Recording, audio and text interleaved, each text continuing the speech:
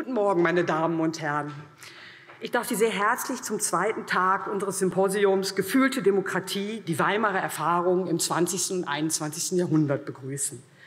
Nachdem wir gestern zunächst auf die Erwartungen, also die Hoffnungen, Träume, Visionen geschaut haben und anschließend dann uns den Gefährdungen, also sprich den Ängsten, den Überforderungen, Enttäuschungen gewidmet haben, wird es heute Vormittag in der dritten Sektion um Anfeindungen gehen, um Feindseligkeiten, den Hass und die Gewalt. Wir haben gestern gehört, wie sehr sich in der Weimarer Republik die Erwartungen der Zeitgenossen immer mehr von den gemachten Erfahrungen entfernten. Dies betraf etwa die Verfassungskultur, politische Veränderungen, wirtschaftliche Partizipationsmöglichkeiten, die Hoffnung, entsprechende zu erhalten. Hetze und Hass gehörten schon bald zum strategischen Kalkül der Demokratiegegnerinnen. Die Weimarer Republik war tief gezeichnet von menschlichen Grundemotionen wie Angst und Hass. In zahlreichen Studien ist bereits dargelegt worden, wie sehr eben politische Gewalt die erste deutsche Demokratie dominiert hatte. Heute ist nun nach den Ausformungen und Kontinuitätslinien von Antisemitismus, politischer Hetze und Terror im 20. und 21. Jahrhundert zu fragen. Dabei ist von Interesse, wann Anfeindungen und Hass in Bedrohung und Mord umschlagen. Die jüngere Gewaltsoziologie geht etwa davon aus, dass bei Gewalthandlungen nicht zuletzt die konkrete Situation eine hohe Relevanz zukommt. Ob es zu Gewalthandeln kommt, ist abhängig, so ein Erklärungsansatz, von ihrer emotionalen Dynamik. Diese Dynamik wird wiederum von einer Vielzahl von Faktoren geprägt, damit auch von den Täterinnen, Opfern, von den Zuschauenden, von den Medien und vielen mehr. Meine Damen und Herren, ich freue mich sehr, dass wir für die Sektion mit Carola Dietze, Hanna Ahlheim und Silke Fehlemann drei Referentinnen gewonnen haben, die bereits intensiv zu Themen wie Anfeindung, Extremismus, Terrorismus und Gewalt wissenschaftlich gearbeitet haben. Wir wollen auch heute wieder die ersten drei Vorträge hören und diese dann anschließend diskutieren. Entsprechend werde ich vorab die Referentin kurz vorstellen. Ich beginne entsprechend der Reihung der Vorträge als erste hören wir Carola Dietze mit einem Vortrag Ehre, wem Ehre gebührt, Attentate der Weimarer Republik in Erinnerung und öffentlichen Debatten nach 1945. Frau Dietze ist Professorin für Neuere Geschichte an der Universität Jena. Sie forscht unter anderem zur Geschichte des Terrorismus, der Sicherheit und der Medien.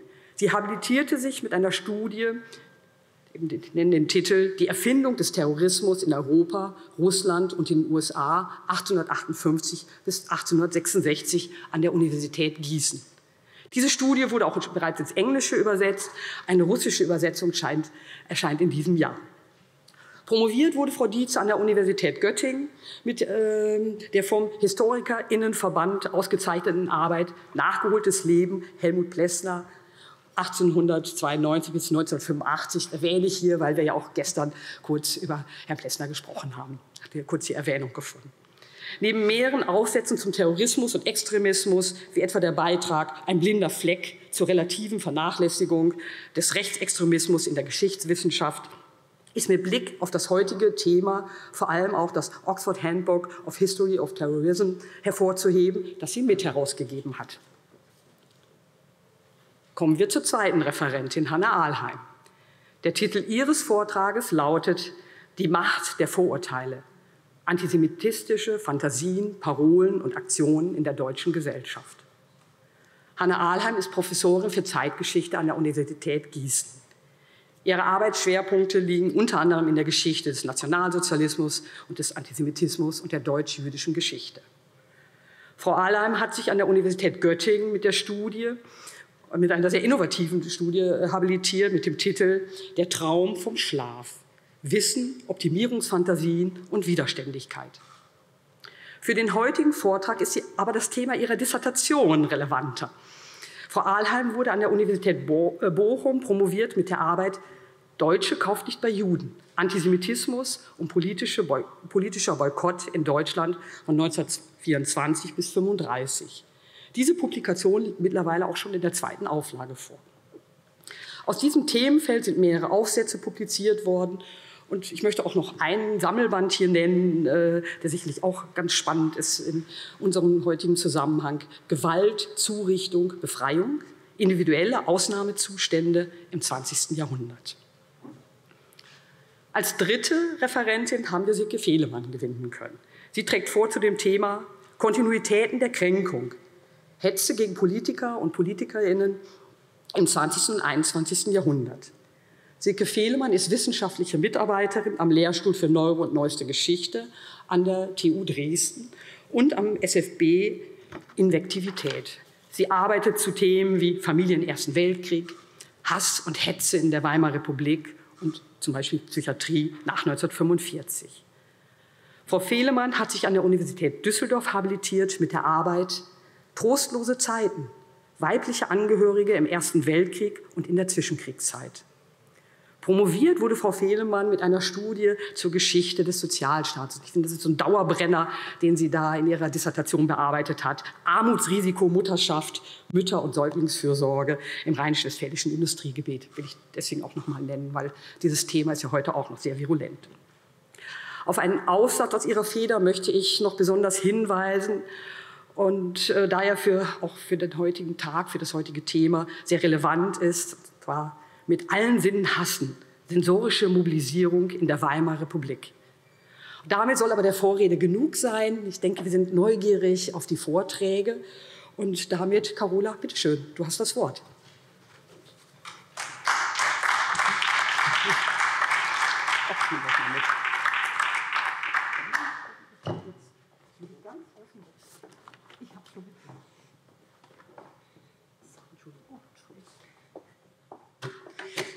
Ja, vielen Dank für diese freundliche Einführung. Ähm, und ich freue mich, herzlichen Dank auch für die Einladung. Ich freue mich sehr, hier zu sein. Ähm, und möchte beginnen mit dem Titel ähm, Ehre, wem Ehre gebührt. Attentate der Weimarer Jahre in Erinnerung und öffentlicher Debatte nach 1945. Berlin, 15. Januar 1919. Ohne jeden Auftrag holten fünf Mitglieder einer Wilmersdorfer Bürgerwehr am Abend erst Karl Liebknecht und dann Rosa Luxemburg aus einer Wohnung in der Mannheimer Straße 43. Nacheinander brachten sie erst Liebknecht, dann Luxemburg mit einem Auto zunächst zu einer Schule und dann weiter ins Hotel Eden am Kurfürstendamm, heute Budapester Straße. Dort hatte Waldemar Papst mit den ehemaligen Soldaten der Garde-Kavallerie-Schützendivision sein Hauptquartier aufgeschlagen. Gegen 21.30 Uhr übergaben die fünf Mitglieder der Bürgerwehr Karl Liebknecht an die ehemaligen Gardesoldaten. Damit lösten sie unter Mannschaften, Offizieren und Gästen im Hotel Pogromstimmung aus. Die Angehörigen der Bürgerwehr erhielten je 1700 Mark ausbezahlt und Liebknecht wurde in die erste Etage zu Papst geführt. Der identifizierte ihn und beriet sich dann mit seinem Adjutanten. Anschließend forderte er ein Kommando von sechs Freiwilligen an und etwa um 22.45 Uhr führte dieses Kommando Liebknecht durch einen Seiteneingang aus dem Hotel und in ein Auto. Ein Mann schlug ihn den Kolben seines Gewehrs auf den Kopf, ein anderer mit der Faust ins Gesicht. Liebknecht blutete heftig. Dann fuhren die ehemaligen Gardesoldaten, die alle das Gardemaß von 1,90 Meter erfüllten, ihn zum Tiergarten. Dort fingierten sie eine Autopanne, forderten Liebknecht auf, zu Fuß weiterzugehen und begleiteten ihn dabei. Nach wenigen Metern erschossen sie Liebknecht von hinten aus nächster Nähe. Den Leichnam lieferten sie als unbekannten Toten bei einer Rettungswache ein, die dem Hotel gegenüber lag. Dann erstatteten sie bei Waldemar Papst Meldung über die erfolgreiche Ausführung ihres Auftrags. Ähnlich erging es auch Rosa Luxemburg, die ebenfalls von den Mitgliedern der Bürgerwehr in das Hotel Eden gebracht worden war. Als sie um 23.40 Uhr aus der Glasdrehtür des Haupteingangs herausgetreten war, erhielt sie zwei Schläge mit dem Gewehrkolben auf den Kopf und fiel bewusstlos zu Boden. Dabei verlor sie einen Schuh, den einer der ehemaligen Gardesoldaten als Trophäe einsteckte. Die Männer warfen sie in ein Auto ohne Verdeck. Sie wurde geschlagen und nachdem sich das Auto etwa 40 Meter vom Hotel entfernt hatte, schoss ihr ein auf das Trittbrett aufgesprungener Soldat als vermeintlicher Unbekannter aus der Menge direkt in den Kopf.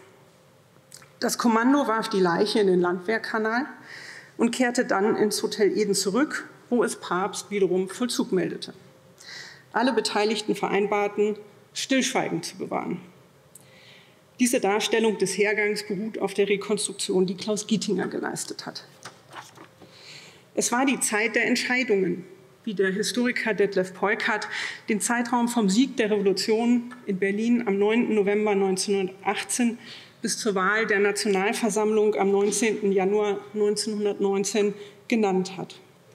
Nachdem Ende Oktober die Matrosen in Wilhelmshaven den Befehl zu einer erneuten Angriffsfahrt der Kriegsflotte verweigert hatten und ein Matrosenaufstand in Kiel ausgebrochen war, ergriffen in den meisten deutschen Städten, zumeist mit wenig Blutvergießen, Arbeiter- und Soldatenräte die Macht.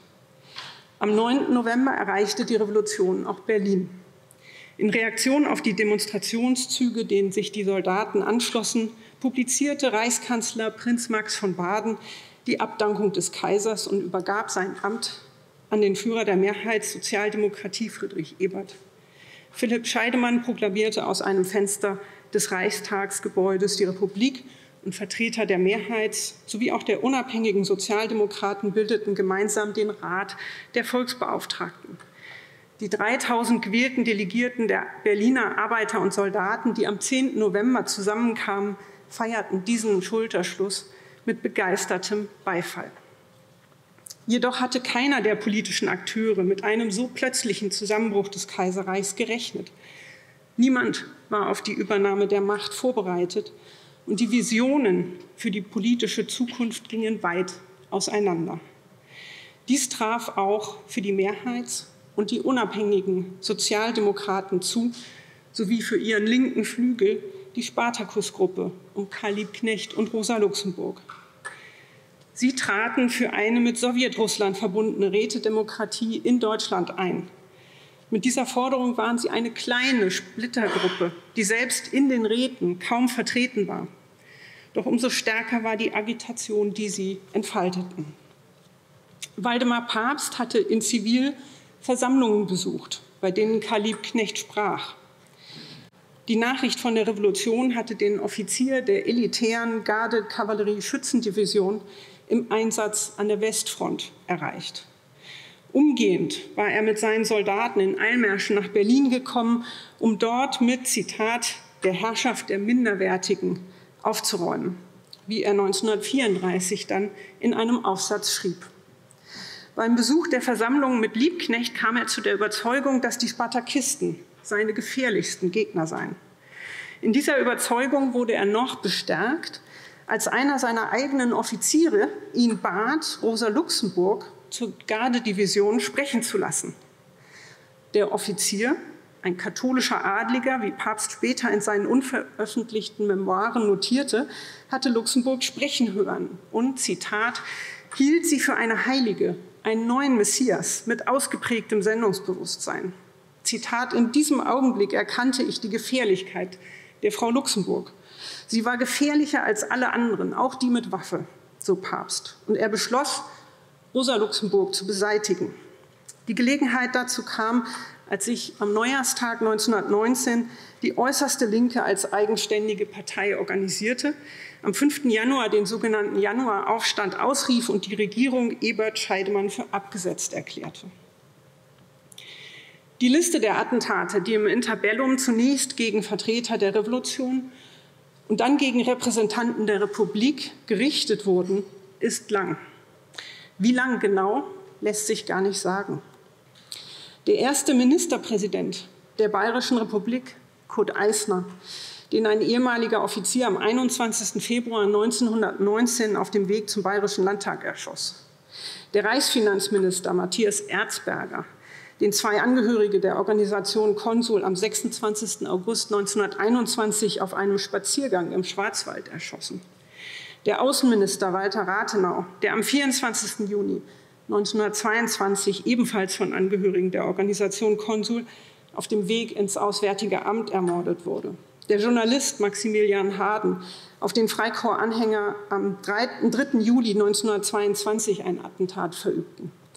Oder der schon genannte Philipp Scheidemann, der die Republik ausgerufen hatte, später zum Kasseler Bürgermeister gewählt wurde und auf den die Organisation Konsul am 4. Juni 1922 einen Anschlag mit Blausäure verübte. Er überlebte durch einen glücklichen Zufall. Aber die Liste umfasst auch weitere Personen, die nie ins Rampenlicht der Öffentlichkeit getreten waren, wie die 15 Arbeiter, die 1920 von Marburger Studenten gefangen genommen und erschossen wurden. Morde, die als Morde von Mechterstedt in die Geschichte eingegangen sind. Des Weiteren waren darunter Personen, die damals einer breiten Öffentlichkeit bekannt waren, heute dagegen nur noch wenigen ein Begriff sind, wie zum Beispiel der erste Innenminister der Bayerischen Republik, Erhard Auer, auf den am 21. Februar 1919 im Bayerischen Landtag geschossen wurde. Der sozialdemokratische Politiker Hugo Hase, der USPD-Vorsitzende, Fraktionsvorsitzende im Bayerischen Landtag Karl Gareis, der KPD-Politiker und Angehörige der Hamburger Bürgerschaft Ernst Henning, der am 14. März 1931 von SA-Männern ermordet wurde. Und zu diesem Kreis gehört auch der Pazifist Hans Paasche. Gerade weil Hans Paasche in der Zwischenkriegszeit einer breiteren Öffentlichkeit bekannt war, heute jedoch nur noch wenige seinen Namen kennen, ist sein Beispiel für die Frage nach öffentlicher Diskussion und Erinnerung aufschlussreich. Erlauben Sie, mir, äh, erlauben Sie mir, ihn kurz vorzustellen. Paasche war 1905 als Marineoffizier in den Einsatz nach Deutsch-Ostafrika gegangen, das heutige Tansania, und hatte dort an der Niederschlagung des Maji-Maji-Aufstands mitgewirkt.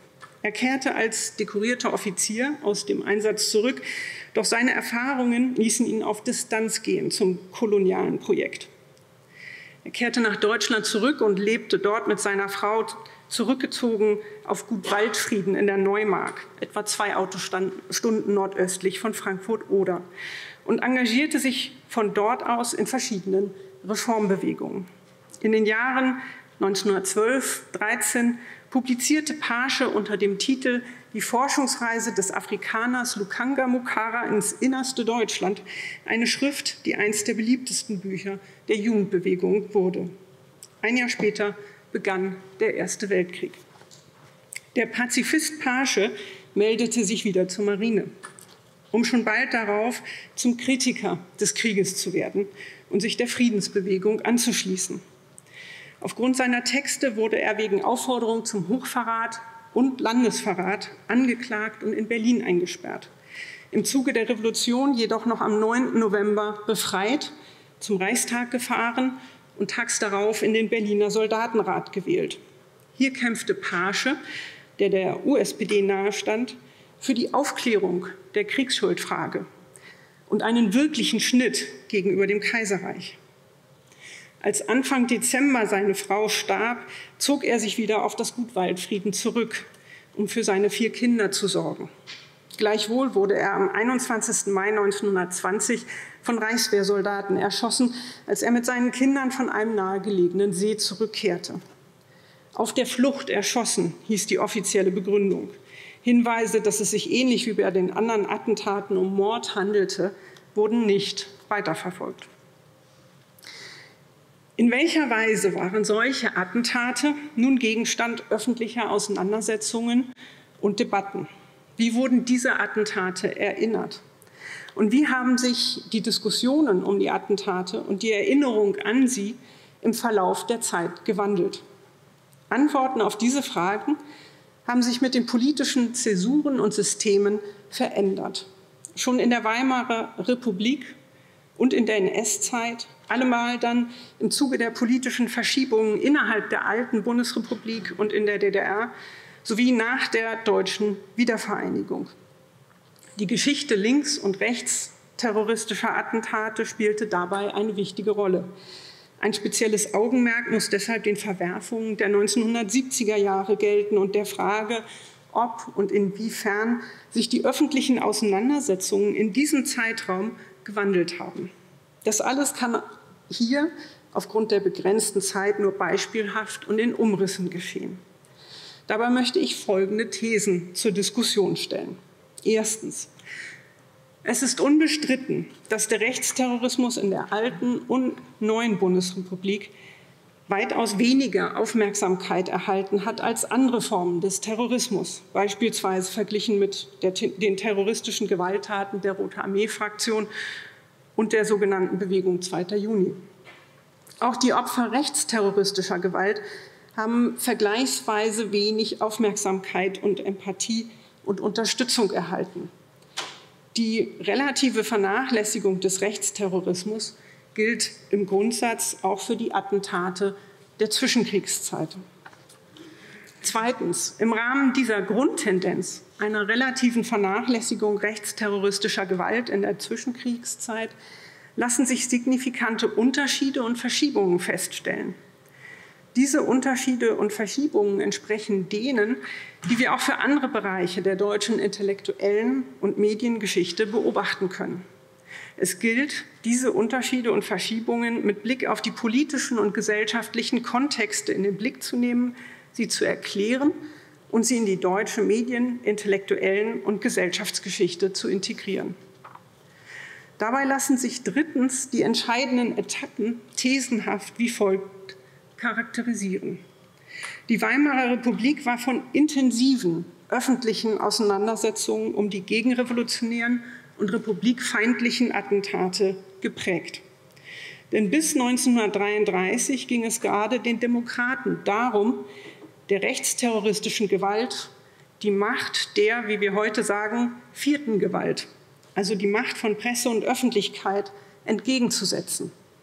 Dies untersucht derzeit Lukas Görgens als Doktorand an meiner Professur am Beispiel Julius Emil Gumbels. Die Zeit des Nationalsozialismus ist für die Geschichte der öffentlichen Auseinandersetzungen und Debatten um die Attentate der Zwischenkriegszeit von zentraler Bedeutung. Mit der Machtübergabe an die NSDAP 1933 wurde der Rechtsterrorismus den Gruppen wie die Organisation Konsul und Bewegungen wie die SA praktizierten, zum staatlich organisierten und legitimierten Terror.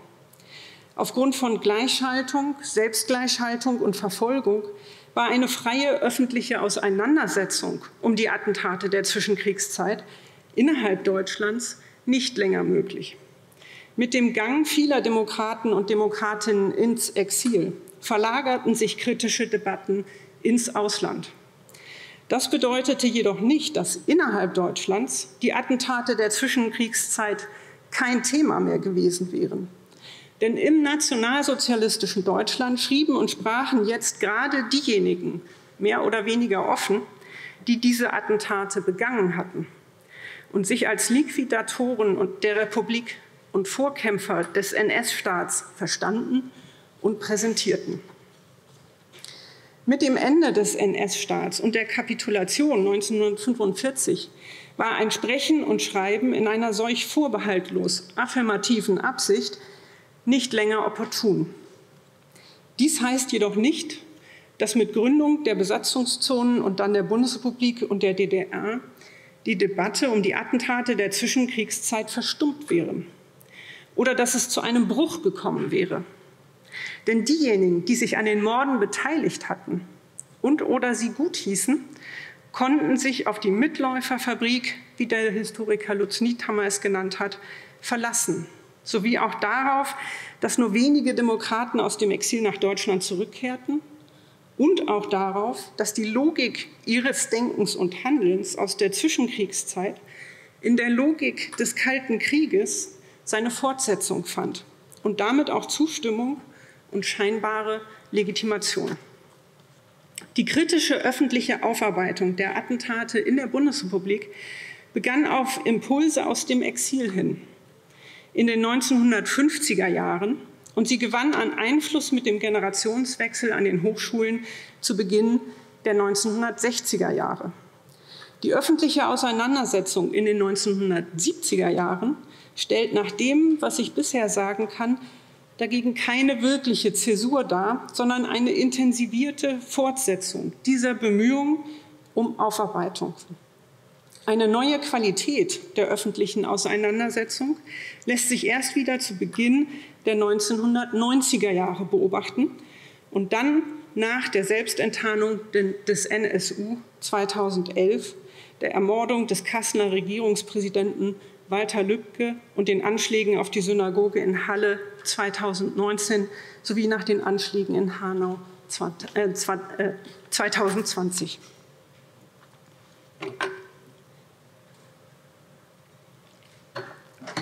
Lassen Sie mich diese Thesen im Folgenden mit Hilfe einiger weniger Beispiele unterlegen. In der Weimarer Republik gab es intensive öffentliche Auseinandersetzungen um die gegenrevolutionären und republikfeindlichen Attentate. Der Historiker Martin Szabo hat das exemplarisch für die Reaktion auf die Ermordung Rathenaus gezeigt. Ich zitiere. Rathenaus Tod löste, Zitat, eine Massenbewegung aus wie sie die junge Republik noch nicht gesehen hatte.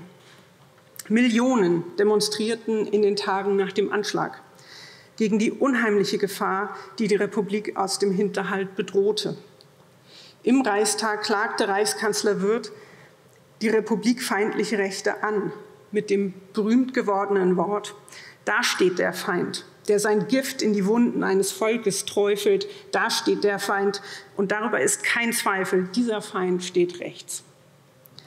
Das stenografische Protokoll hält die Reaktionen auf diesen Aufruf fest. Stürmischer, langanhaltender Beifall und Händeklatschen in der Mitte und links und auf den Tribünen. Große, lang andauernde Bewegung. Sicher waren die Reaktionen auf die Ermordung Rathenaus außergewöhnlich. Doch auch auf andere rechtsterroristische Attentate gab es in der Weimarer Republik bemerkenswerte Reaktionen. So wies der Mathematiker Emil Julius Gumbel in seinem Buch Vier Jahre politischer Mord mit statistischen Methoden nach, dass die Weimarer Justiz auf dem rechten Auge blind war. Das Buch wurde ein Bestseller und erschien in vielen Auflagen ab 1927 mit einem Geleitwort von Albert Einstein. Auch Kunstschaffende bezogen Stellung. Man denke an Käthe Kollwitz Gedenkblatt für Karl Liebknecht aus dem Jahre 1920. Oder nehmen wir Hans Pasche als Beispiel. Zwei Wochen nach dem Attentat veröffentlichte Kurt Tucholsky in der Weltbühne ein Gedicht mit dem Titel Pasche, das wie folgt beginnt. Zitat, wieder einer. Das ist nun im Reich Gewohnheit schon, es gilt ihnen gleich. So geht das alle, alle Tage. Hierzulande löst die soziale Frage ein Leutnant. Zehn Mann, Pazifist ist der Hund, schießt ihn nicht erst die Knochenwund, die Kugel ins Herz. Und die Dienststellen logen, er hat sich seiner Verhaftung entzogen. Leitartikel, Dementi, Geschrei und in 14 Tagen ist alles vorbei. Damit wies Tucholsky zugleich auf die Grenzen der öffentlichen Auseinandersetzung. Zwar gab es eine breite Presseberichterstattung über die Attentate, die Suche nach den Tätern, die Gerichtsverfahren und anderes mehr, doch das änderte nichts daran, dass die Demokratie ihre Befürworter nicht wirksam schützte und die antidemokratischen Attentäter kaum Konsequenzen zu befürchten hatten. Doch in Pasches Fall verhinderten seine Wegbegleiter, dass in 14 Tagen alles vorbei war. An seinem ersten Todestag zu Pfingsten 1921 trafen sich etwa 200 Jugendbewegte auf Burg Ludwigstein und weihten die Burglinde als Paschelinde. Otto Buchinger, Gründer der Buchinger Klinik in Bad Pyrmont, publizierte 1922 seine Erinnerungen an den Freund und zwei weitere Mitstreiter verfassten ebenfalls Biografien über Hans Pasche. Solche Formen der Erinnerung verschwanden jedoch mit der Machtübergabe an die Nationalsozialisten 1933. Wie bereits der Historiker Alan Northnagel für das Beispiel Hans Pasche festgestellt hat, brach das Vermächtnis ab. Gut Waldfrieden wurde verkauft, wechselte mehrfach die, die Besitzer, fand sich nach 1945 auf polnischem Staatsgebiet und wurde abgerissen. Pasches Bibliothek und sein Nachlass gingen verloren. Stattdessen erschien in beachtlicher Zahl Erinnerungsliteratur der ehemaligen Freikorpskämpfer, wie der schon zitierte Text Spartacus von Waldemar Papst aus dem Jahre 1934, Wilfried von Löwenfels, das Freikorps Löwenfels von 1935, Eduard Stadlers als Antibolschewist 1918-19 oder Friedrich von Oerzens, die deutschen Freikorps 1936. Ernst von Salomons Die Geächteten aus dem Jahre 1930 erschien in hohen Auflagen. Inwiefern und auf welche Weise die Attentate von Demokraten im, im Exil weiterhin thematisiert wurden, bleibt zu untersuchen. Anders als die Erinnerung an die Opfer 1933 brach mit dem Ende des NS-Staates 1945 das Sprechen und Schreiben der Täter gerade nicht ab. Ein Beispiel dafür ist Ernst von Salomons Buch Der Fragebogen, das 1951 erschien und umgehend ein Bestseller wurde. Weitere Beispiele dafür sind ein Artikel Waldemar Papst, in dem er sich 1962 dazu bekannte, den Befehl zur Ermordung von Karl Liebknecht und Rosa Luxemburg gegeben zu haben. Ein Interview, das er im gleichen Jahr dem Spiegel gab sowie die juristischen Auseinandersetzungen um das Fernsehspiel zu Rosa Luxemburg, das Dieter Ertel, der damalige Leiter der Abteilung Dokumentarfilm im Süddeutschen Rundfunk, 1966 im Auftrag des Senders zu produzieren begann. Im Zuge seiner Recherchen hatte Ertel auch Kontakt zu Papst aufgenommen und von ihm erfahren, dass es sich bei dem Freiwilligen der vom Trittbrett des Autos aus den tödlichen Schuss auf Rosa Luxemburg abgegeben hatte, um Hermann W. Souchon handelte. Ertel nahm diese neue Information in seinen Film auf und kündigte dies in einer Pressekonferenz an. Daraufhin erwirkte Souchon im Dezember 1968 zunächst eine einstweilige Verfügung gegen den Süddeutschen Rundfunk und reichte dann 1969 Klage ein. Die gewann er bis 1971 durch zwei Instanzen hinweg, weil sich den Recherchen Klaus Gietingers zufolge Papst als Zeuge zurückzog und das Gericht sich auf die Prozesse aus der Weimarer Zeit stützte, die von Freunden und Kameraden Waldemar Papst durchgeführt worden waren und die ganz sicher nicht dazu hatten dienen sollen, die Tat aufzuklären. Im Gegenteil. Notabene, das war in den Jahren 1969 bis 71.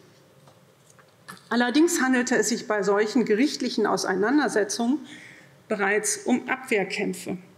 Abwehrkämpfe zwar, die die Attentäter offensiv führten, die aber doch illustrieren, dass erneut eine kritische Auseinandersetzung begonnen hatte und ihre affirmative Erinnerung inzwischen auf Widerspruch traf. Diese Auseinandersetzung erhielt entscheidende Impulse aus dem Exil. So von dem Remigranten und Sohn dieser Stadt, Helmut Plessner. Und es war Clemens von Klemperer, der im Widerstand gegen das Dritte Reich aktiv gewesen und nach der Pogromnacht 1938 in die USA geflohen war, der 1957 mit Germany's New Conservatism, Its History and Dilemma in the 20th Century eine erste Analyse zum Thema vorgelegt hatte, die unter anderem von den Immigranten Hajo Holborn und Sigmund Neumann betreut worden war und 1962 auch in deutscher Übersetzung erschien. Zu weiteren frühen kritischen Auseinandersetzungen gehören Kurt Hirschs Buch Die Blutlinie, ein Beitrag zur Geschichte des Antikommunismus in Deutschland 1960 Kurt Sondheimers Monographie Antidemokratisches Denken in der Weimarer Republik 1962. Die Studie des exilierten Historikers Francis L. Carsten, Reichswehr und Politik 1918 bis 33 aus dem Jahr 1964. Heinrich und Elisabeth Hannovers Politische Justiz 1918 bis 33, 66 erschienen. Sowie dann auch andere Formen der Verarbeitung des Gegenstands etwa Walter Jens Theaterstück Die Rote Rosa, ebenfalls aus dem Jahr 66. Nicht zuletzt auf der Basis dieser Aufklärung standen dann im Jahre 1969 vor dem Haus von Waldemar Papst in Düsseldorf 150 Demonstranten, die Transparente mit der Aufschrift Gestern Papst, heute Kurs hochhielten womit sie den Polizisten meinten, der anderthalb Jahre zuvor Benno ohne Sorg in den Kopf geschossen, geschossen hatte und ihn somit getötet hatte. Die Attentate der Zwischenkriegszeit waren Ende der 60er Jahre also geradezu bedrohlich präsent. Hier lässt sich gefühlte Demokratie fassen als Empathie für die Opfer sowie als Zurückweisung machtpolitischen Handelns, das zynisch über Leichen geht und die Ermordung politischer Gegner zulässt oder gar betreibt. Gefühlte Demokratie lässt sich weiter identifizieren als Forderung, die eigenen Grundgesetze zu achten und das Leben und die Würde aller Bürgerinnen und Bürger zu schützen. Denn Freiheit ist immer Freiheit der Andersdenkenden, wie Rosa Luxemburg 1918 noch mit Blick auf die russische Revolution geschrieben hatte. Die weniger bekannten Opfer wie Hans Paasche kamen Ende der 60er Jahre noch nicht in den Blick.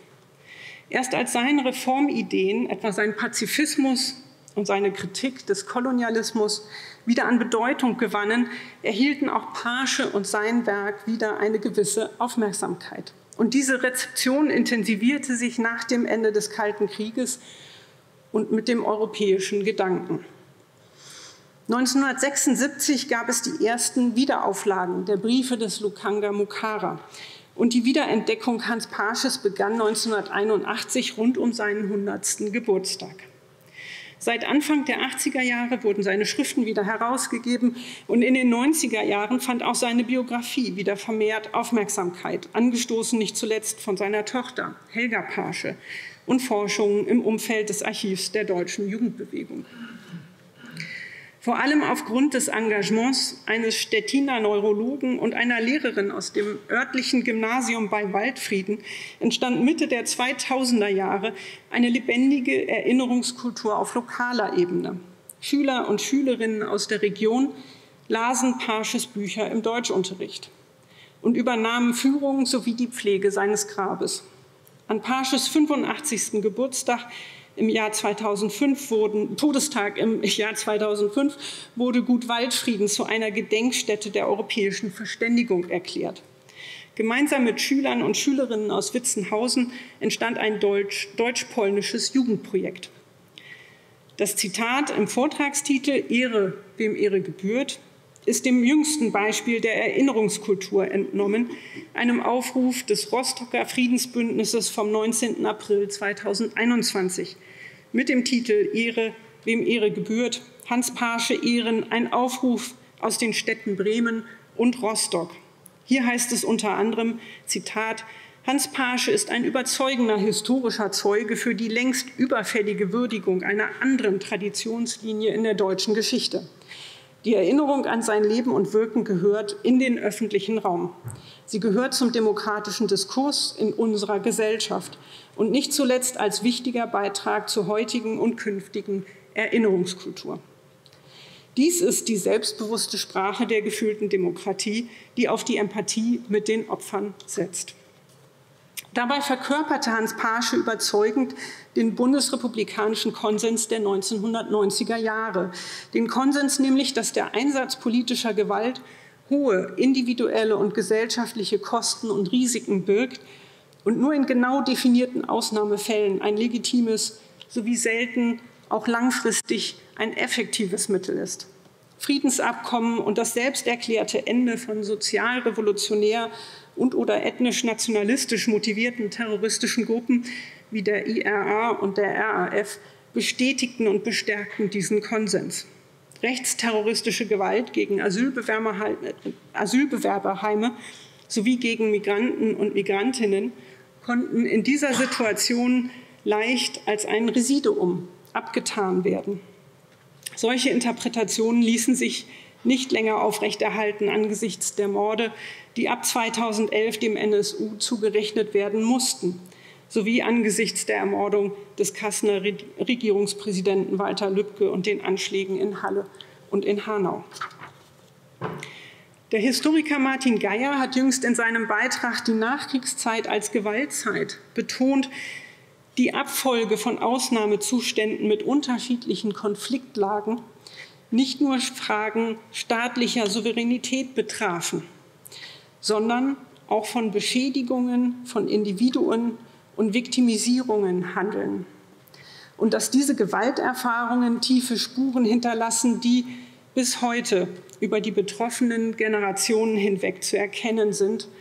Und zwar egal, ob man das in einer Nachgeschichte von individueller oder kollektiver Angst, Misstrauen oder Zynismus sucht oder nicht minder bedeutsam im Überleben und Überleben wollen sowie in der Mobilisierung von Resilienzen.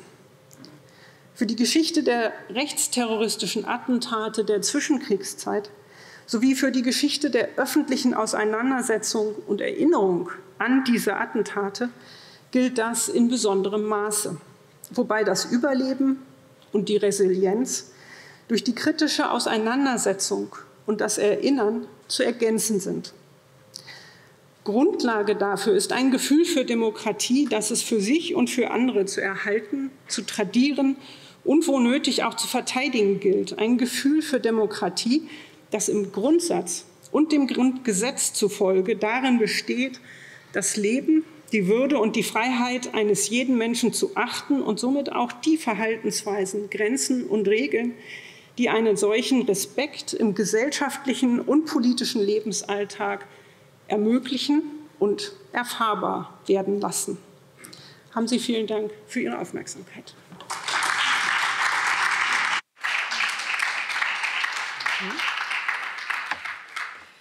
Auch wenn man gerne jetzt sofort diskutieren würde, kommen wir zum nächsten Vortrag. Bitte schön, Hanna Allein. Vielen Dank, Carola.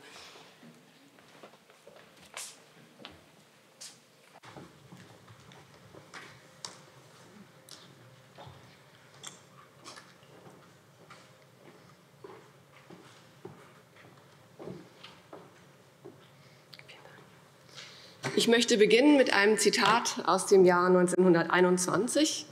In diesem Jahr veröffentlichte der Schriftsteller Jakob Wassermann seinen autobiografischen Text Mein Weg als Deutscher und Jude.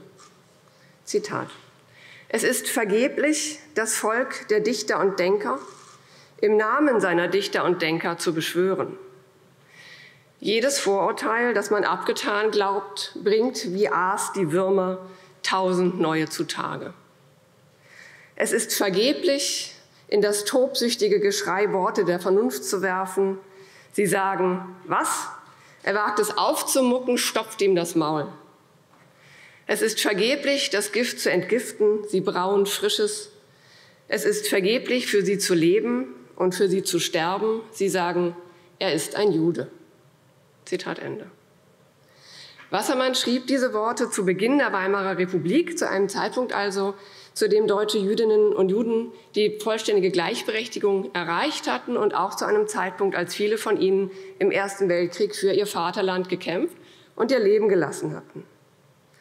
Vor Wassermann lag eine Hochzeit deutsch-jüdischen Zusammenlebens. Von Judenverfolgung im Dritten Reich, vom Holocaust konnte er nichts wissen. Umso eindringlicher erscheinen seine Worte, aus denen im Nachhinein eine erschreckende Klarsichtigkeit spricht. Ich möchte Wassermanns viel zitierte Sätze heute zum Ausgangspunkt nehmen, um über zwei Fragen nachzudenken. Zum einen soll es um die Tatsache gehen, dass Vorurteile und Hass ganz offensichtlich von Beginn an zum emotionalen Haushalt der ersten deutschen Demokratie gehörten.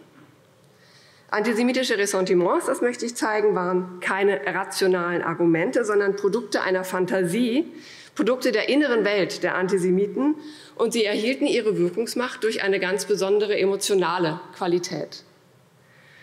Zum anderen möchte ich argumentieren, dass das Nachdenken über gefühlte Demokratie auch die Emotionen derjenigen wahr und ernst nehmen muss, die als Minderheit Anfeindungen und Diskriminierung ausgesetzt waren und sind. Für die Einschätzung der Wirkmächtigkeit von Hass und von Ressentiments ist die Perspektive der Betroffenen von entscheidender Bedeutung. Beide Aspekte, sowohl die emotionsgeladene Fantasie der Antisemiten als auch die gefühlte Wahrnehmung von Anfeindung und Exklusion sind von Bedeutung, wenn wir die Entwicklung der Weimarer Republik verstehen und einordnen möchten. Aber die Weimarer Erfahrung kann eventuell auch im 21. Jahrhundert helfen, Situationen einzuschätzen. Damit möchte ich meinen Vortrag dann schließen. Der erste Schritt, den ich heute machen möchte, mag simpel erscheinen, aber ich glaube, wir müssen ihn immer wieder sehr bewusst vollziehen. Es geht darum zu zeigen, dass die Vorstellungen, die sich Antisemiten, die sich ähm, vorteilsbeladene Denker, Wahrnehmer von der Wirklichkeit machen, ähm, eben genau das sind, Fantasien und kein Abbild von Wirklichkeit. Ein eindrucksvolles Beispiel für die Art und Weise, wie sich die antisemitische Fantasie vom Juden in den Weimarer Jahren oder wie diese Fantasie erdacht und wie sie auch erfüllt wurde, ist die Figur des Warenhausjuden. An diesem Beispiel, das ich Ihnen heute mitgebracht habe, lässt sich eine ganz erstaunliche Eigenschaft stereotypisierenden Denkens aufzeigen.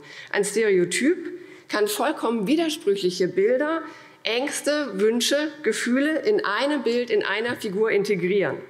Und die Widersprüche führen nicht etwa dazu, dass das Stereotyp aufgebrochen wird, sondern steigen, steigern im Gegenteil seine emotionale Qualität.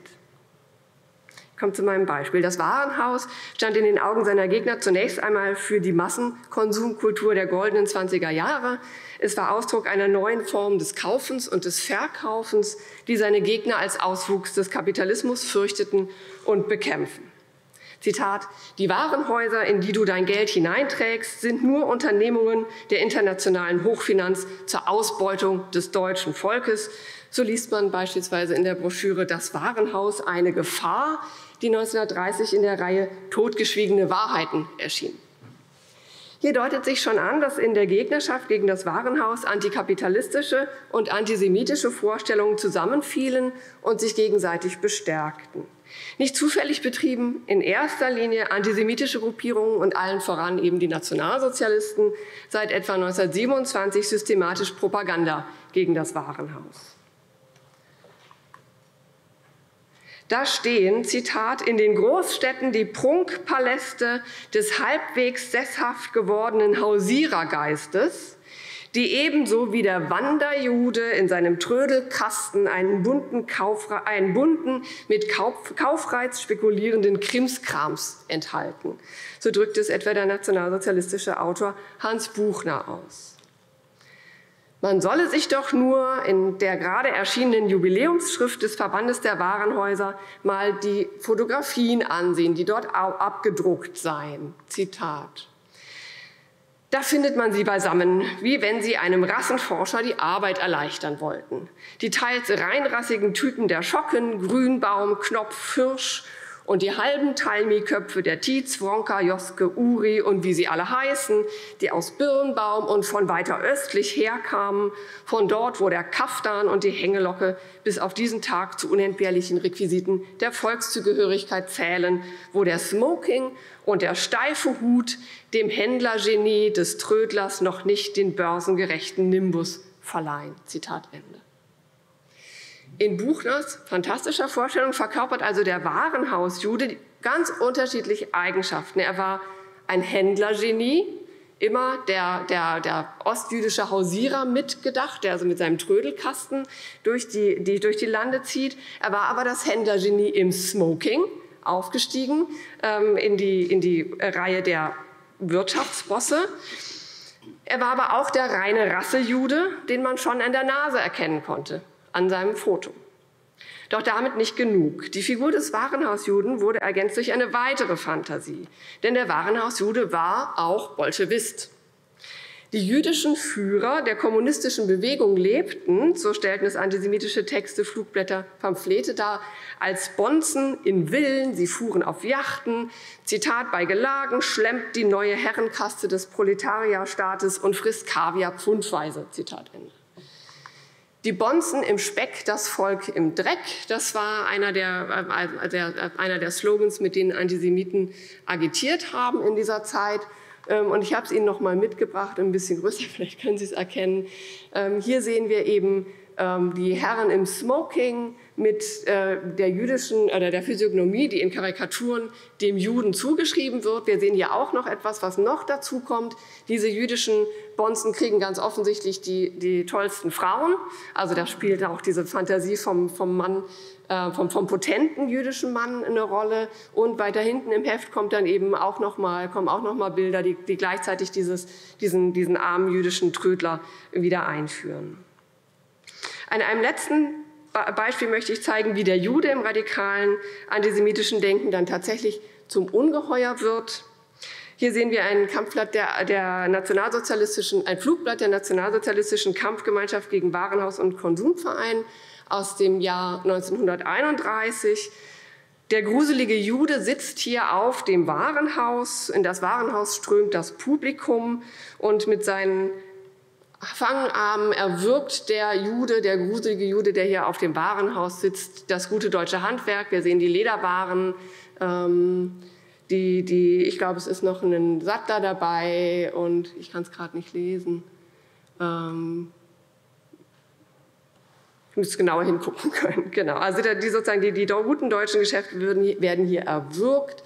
Und was wir auch sehen, ist, dass die Figur des Juden, die wir hier sehen, eigentlich kaum noch menschliche Züge hat. Ne? Also sie hat Fangzähne, äh, mit, der, mit denen äh, der Jude hier dem deutschen Volk das Blut aussaugt. Und es ist wirklich eine Gruselfigur, die hier sitzt.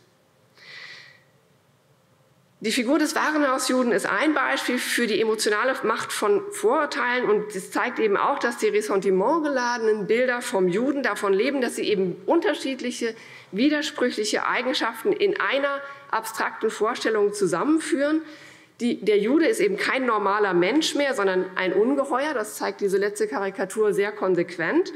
Und in dieser Figur, das ist mir wichtig, stecken eben ganz, ganz unterschiedliche Emotionen. Es geht nicht nur um Hass, sondern es geht auch um Angst, es geht um Faszination, es geht um Ekel. Das Vorurteil lebt also davon, dass es wirklich auf unterschiedlichen Ebenen unterschiedliche Emotionen anspricht. Und unsere Aufgabe ist es, ähm, nach den Ausprägungen, aber auch nach den Ursprüngen dieser Emotionen zu suchen. Wo kommen die eigentlich her? Was könnte dahinter stecken, gerade in der Weimarer Zeit? Verbirgt sich daher etwa die Angst vor tatsächlich ähm, den, den neuen Strukturen eines wachsenden Kapitalismus, vor sozialer Ungleichheit, vor struktureller Ab Abhängigkeit, Ängste vielleicht auch vor den eigenen sexuellen Wünschen, vor den eigenen Machtfantasien, die wir hier wiederfinden. Wo kommen eigentlich diese, diese Emotionen hier, die, hierher, die hier vereinfacht werden, externalisiert werden, auf jemanden anders projiziert werden und damit ähm, greifbar und auch angreifbar werden in einer Figur des anderen. Die Tatsache, dass antisemitische Vorurteile der Fantasie der Antisemiten entsprangen, bedeutete nicht, dass Jüdinnen und Juden sich nicht damit auseinandersetzen mussten in ihrem konkreten Alltag. Sie waren immer wieder und in unterschiedlichem Maße mit Bildern vom Juden konfrontiert und mussten sich zu den Anfeindungen verhalten. Eine wichtige Rolle bei der Exklusion jüdischer Deutscher spielte in der zweiten Hälfte der 1920er Jahre der Boykott. Frau Mecking hat schon gesagt, das ist eines meiner Themen. Der Boykott, der oft unter dem Schlagwort Deutsche kauft nicht bei Juden beschrieben, äh, betrieben und beworben wurde. Und diese Boykottaufrufe richteten sich einerseits gegen äh, große Unternehmen wie die Warenhäuser, aber eben auch als kleine ähm, Geschäfte in der Nachbarschaft, die als jüdisch bekannt oder gekennzeichnet waren. In seinem 1931 erschienenen Buch ähm, Der Antisemitismus in der Deutschen Republik sah der Autor, der unter dem Pseudonym Fritz Marburg schrieb, den Wirtschaftsboykott in allen Winkeln Deutschlands betrieben, 1931. Zitat, von allen Seiten wird gegen den jüdischen Industriellen, Bankier, Kaufmann, geistigen und körperlichen Arbeiter ein konzentrischer Angriff geführt, welcher ihm die Einkommensquelle abschneidet und ihn schließlich brotlos macht, Schlagworte wie kauft nicht beim Juden oder meidet die Warenhäuser schmücken Hauswände, Geschäfte, Auslagen. Angesichts dieser Erfahrungen bemühten sich jüdische Organisationen in den später, späten Weimarer Jahren darum, herauszufinden und zu dokumentieren, welche Wirkung die Boykottaktionen eigentlich zeigten, wer sie organisierte, wen sie trafen. Und die erhaltenen Berichte, das fand ich sehr, sehr spannend, zeigen, wie schwer es auch für die Zeitgenossen schon war, konkrete ökonomische Folgen von solchen Attacken zu berechnen. Und nicht zufällig wählt daher auch Fritz Marburg eine ganz, ganz typische Formulierung. Er schreibt nämlich, der Boykott machte sich, Zitat, bei der jüdischen Bevölkerung in empfindlicher Weise fühlbar. Und diese Formulierung etwa einer gefühlten Wirkung oder einer gefühlten Verfolgung lässt sich in zahlreichen Texten von Jüdinnen und Juden aus der Weimarer Zeit finden. Und ich möchte eben dafür plädieren, das sehr, sehr ernst zu nehmen, mit allen Schwierigkeiten, die es mit sich bringt. Ähm, da habe ich hier noch mal ein Beispiel für mitgebracht. Äh, einen Artikel, den der Mediziner Julius Moses im Februar 1932, wir bewegen uns zugegebenermaßen in der Endzeit der Republik, äh, im israelitischen Familienblatt veröffentlichte. Ähm, Moses war zu dieser Zeit Abgeordneter der SPD im Reichstag in Berlin und versucht in seinem Text die Berliner Aufmerksamkeit, aufmerksam, auf, aufmerksam zu machen für das, was in den Provinzen passiert, vor allem in den ländlichen Regionen. Moses Text beginnt so. Zitat, gefühlsmäßig ahnt man, dass für die Juden in den östlichen Provinzen des Reiches ein beispielloser Rückschlag in eine hundert oder mehr Jahre zurückliegende Vergangenheit erfolgt ist. Zitat Ende. Vor allem in den kleinen Städten, so fährt Moses fort, bekämpften die Antisemiten, Zitat, die jüdischen Mitbürger mit allen Mitteln, vorwiegend mit dem, Ökonom mit dem des ökonomischen und gesellschaftlichen Boykotts. Es ist viel Ärger viel, viel Ärger, als man es sich in der Großstadt vorstellt. Zitat Ende. Als Beleg für diese Behauptung zieht er ausgerechnet einen Roman heran, nämlich Volk im Fieber von Josef Maria Frank. Franks Beschreibung, die auf Berichten und Erfahrungen beruhe, sei eine Zitat von Künstlerhand geformte Wirklichkeitsreportage, die die Stimmung in den Provinzen sehr gut nachzeichne. Frank lässt in seinem Roman eine seiner Hauptfiguren, einen jüdischen Kaufmann, von seiner aktuellen Situation berichten. Zitat. Die Romanfigur spricht. Man war zufrieden mit mir, man ist es auch heute noch, aber mit der Freundlichkeit von früher hapert's. Die alten Kunden wollen sich nicht mehr aufhalten, aufhalten im Laden. Ich fühle es förmlich, dass sie sich ängstigen, beim Juden gesehen zu werden. Zitat Ende. Es geht in Moses Artikel also um gefühlsmäßiges Ahnen und sein Beleg ist ein Roman, der wiederum beschreibt, wie der Protagonist sich förmlich fühlt. Können wir hier, also können wir das als Belege nehmen für die Wirkmächtigkeit von Antisemitismus in der damaligen Gesellschaft? Ich würde sagen, ja, leider müssen wir genau das tun. Denn Ressentiments und gesellschaftliches Klima, die Stimmung im sozialen Miteinander sind sehr, sehr schwer zu fassen und sie spiegeln sich eben vor allem in Beschreibungen von Wahrnehmung und gefühlter Stimmung in ganz, ganz unterschiedlichen Texten wieder. Die Betroffenen denken hier reflektiert über die eigene Situation, den eigenen Gefühlshaushalt nach, benennen ihre Wahrnehmung als gefühlt und versuchen Veränderungen greifbar zu machen. So wie wir die emotionale Gewalt von antisemitischen Anfeindungen auf der, auf der Seite der Antisemiten analysieren müssen, müssen wir auch die gefühlte Exklusion der Betroffenen, der gefühlten Exklusion nachgehen. Und was sozusagen uns das auch zeigt, wenn wir solche weichen Kriterien, diese andere Art von Quellen heranziehen, löst sich auch die Zäsur von 1933 ganz, ganz entscheidend auf. Und sehr, sehr viel passiert eben schon in der Zeit der Weimarer Republik, äh, was dann im Nationalsozialismus staatstragende äh, Politik wird. Kommt zum abschließenden kurzen Teil. Äh, der ist überschrieben die Krake Zuckerberg.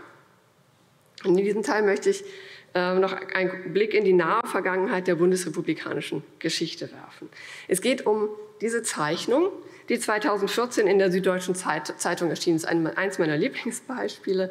Der Zeichner Burkhard Mohr stellt hier den jüdischen Facebook-Gründer Mark Zuckerberg als Krake dar. Anlass war, dass Facebook gerade die Nachrichtenplattform WhatsApp übernommen hatte. Und wir sehen hier die für antisemitische Karikaturen typischen Einzelheiten die Hakennase, die fleischigen Lippen, das lüsterne Grinsen, die buschigen Augenbrauen, die krausen Haare. Ähm, es gab Leute, die haben gesagt, sogar diese Fangarme könnte man irgendwie als Schläfenlocken interpretieren, wenn man, äh, wenn man weit geht. Ähm, das ist sozusagen die, die, die Diskussion, die um dieses Bild aufbrach. Und die Kritik kam sehr, sehr prompt. Zunächst vom Simon Wiesenthal Zentrum. Und die Krake schaffte es in die Nachrichten des israelischen Fernsehens unter der Überschrift Antisemitismus in Deutschland? Die Redaktion der SZ hatte zu diesem Zeitpunkt schon längst reagiert. Aus der Krake Zuckerberg war in der Bildunterschrift zunächst die Krake Facebook geworden. Und die Zeichnung erschien auch nur in der zuerst gedruckten Münchner Ausgabe. Äh, äh, zuerst gedruckten Frühausgabe, so rum. Bereits die Münchner Ausgabe, die zuletzt in Druck ging an dem Tag, zeigte eine veränderte Zeichnung, nämlich das hier. Das Gesicht ist also einfach durch einen leeren Bildschirm ersetzt. Der Zeichner erklärte der jüdischen Allgemeinen, er sei entsetzt, dass seiner Feder unbemerkt etwas Antisemitisches entsprungen sei. Ihm sei, Zitat, unter Zeitdruck in der Situation nicht aufgefallen, dass die, dass die Darstellung problematisch sein könnte, da ich Zuckerberg überhaupt nicht als Juden betrachtet habe. Zitat Ende. War also auch hier eine Form von gefühlter Assoziation am Werk? Während vor allem jüdische Organisationen die Karikatur heftig kritisierten und auch die Süddeutsche Unterzeichner sich sehr, sehr schnell entschuldigten für diese Darstellung, ähm, posteten andere in den Kommentarfunktionen ihr Unverständnis für die Aufregung. Zitat, so wirklich kann ich da keinen Haken in der Nase erkennen, schrieb etwa L3S3R. Und es werde mal wieder, Zitat, ellenlang zitiert, was paranoide Juden als antisemitisch definieren, erklärte J. Sommerfeld. Ich komme zum Schluss. Der Streit um die Krake Zuckerberg ist nur ein Beispiel dafür, dass antisemitische Ressentiments und der Streit darum, wie wirkmächtig sie sind, im Alltag auch der Bundesrepublik des 21. Jahrhunderts zu finden sind. Ich möchte hier, und das ist mir wichtig, und das haben wir auch schon mehrfach angesprochen, nicht das Bild eines ewigen Antisemitismus von Weimar bis heute heraufbeschwören. Ähm, Ressentiments, Fantasien und auch die damit verknüpften Emotionen und Bezüge ändern sich. Und wir müssen sicherlich sehr, sehr genau hinschauen, in welche, welche politischen, ökonomischen, sozialen Bedingungen vorurteilsvolles Denken in der konkreten gesellschaftlichen Situation fördern. Aufgabe der Tagung war es aber nachzudenken über die Weimarer Erfahrung im 21. Jahrhundert.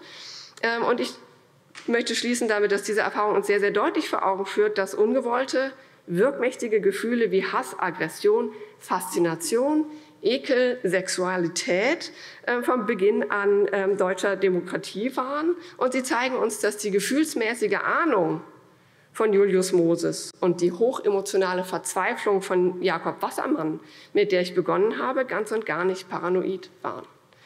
Wassermanns Bücher brannten im Mai 1933 auf den Scheiterhaufen der Bücherverbrennung. Er selbst starb 1934 verarmt im österreichischen Exil. Julius Moses wurde im Sommer 1942 nach Theresienstadt deportiert und starb dort noch im selben Jahr.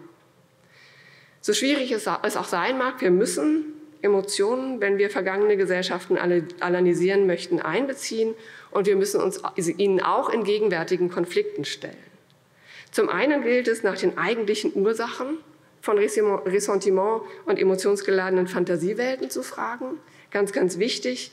Anfeindungen sind nicht nur auf ein Gefühl zu reduzieren, sondern es spielt ein ganzes Bündel von Gefühlen eine Rolle. Zum anderen müssen wir die gefühlten Ahnungen derjenigen ernst nehmen, die Anfeindungen ausgesetzt sind.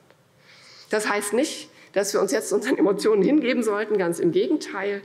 Die, das Erkennen von ungewollten, unbewussten Gefühlen, Fantasien trägt im besten Fall dazu bei, dass wir sie ins Bewusstsein holen, dass wir sie kritisch reflektieren können, beschreiben können, bearbeiten können, kontrollieren können, rationalisieren können. Auf diese Weise können wir vielleicht, wie schon Adorno hoffte, in unserer Gesellschaft zumindest Zitat, ein Klima bereiten, das dem Äußersten ungünstig ist. Zitat Ende. Ich danke Ihnen für Ihre Aufmerksamkeit.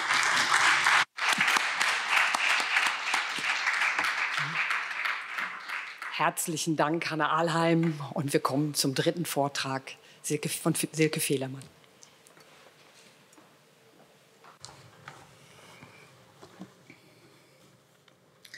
Ja, vielen Dank für die Einladung zu dieser spannenden Tagung und ähm, vielen Dank auch für deine Einführung.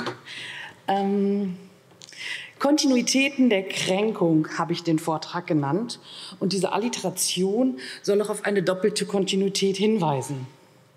Zum einen die Fortdauer der Hetze von der Mitte der 1920er Jahre bis in das Jahr 1933 hinein. Zum anderen die potenziellen Gemeinsamkeiten der Hassrede von der ersten Demokratie bis heute. Die Frage ist also, auf welche Art und Weise konnten Hass und Hetze zerstörerisch auf Demokratien wirken und können das noch? Und was bedeutet dieser Blick zurück für uns heute, die wir uns auf neue Art und Weise mit Hassreden beschäftigen müssen?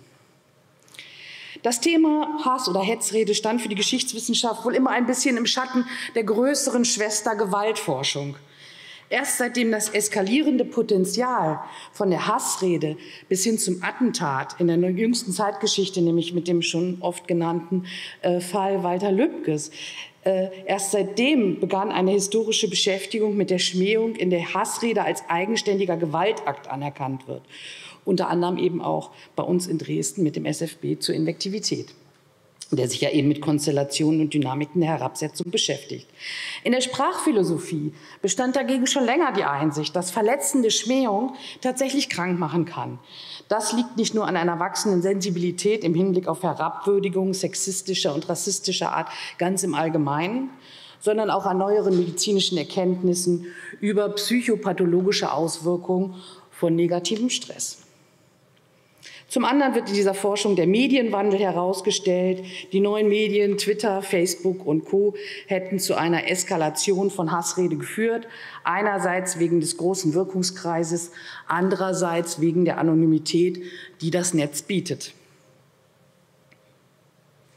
Polizei und Justiz tun sich bis heute schwer in der Behandlung der Hassrede. Beleidigungen und Schmähungen stehen in einem Spannungsverhältnis zum hohen Gut, zum Grundrecht der freien Meinungsäußerung. Insofern sind Beleidigungen von PolitikerInnen äh, bislang mit großer Zurückhaltung beurteilt und auch verurteilt worden. Nachdem allerdings kürzlich die Sanktionen der massiven Beleidigungen von Renate Künast durch das ähm, Landgericht Berlin von der Öffentlichkeit als unzureichend wahrgenommen wurden, hat das Bundesverfassungsgericht in Karlsruhe die Rahmenbedingungen des Kommunikationsstrafrechts noch einmal neu erläutert. Es hat den Aspekt der Menschenwürde gegenüber der freien Meinungsäußerung stärker herausgehoben.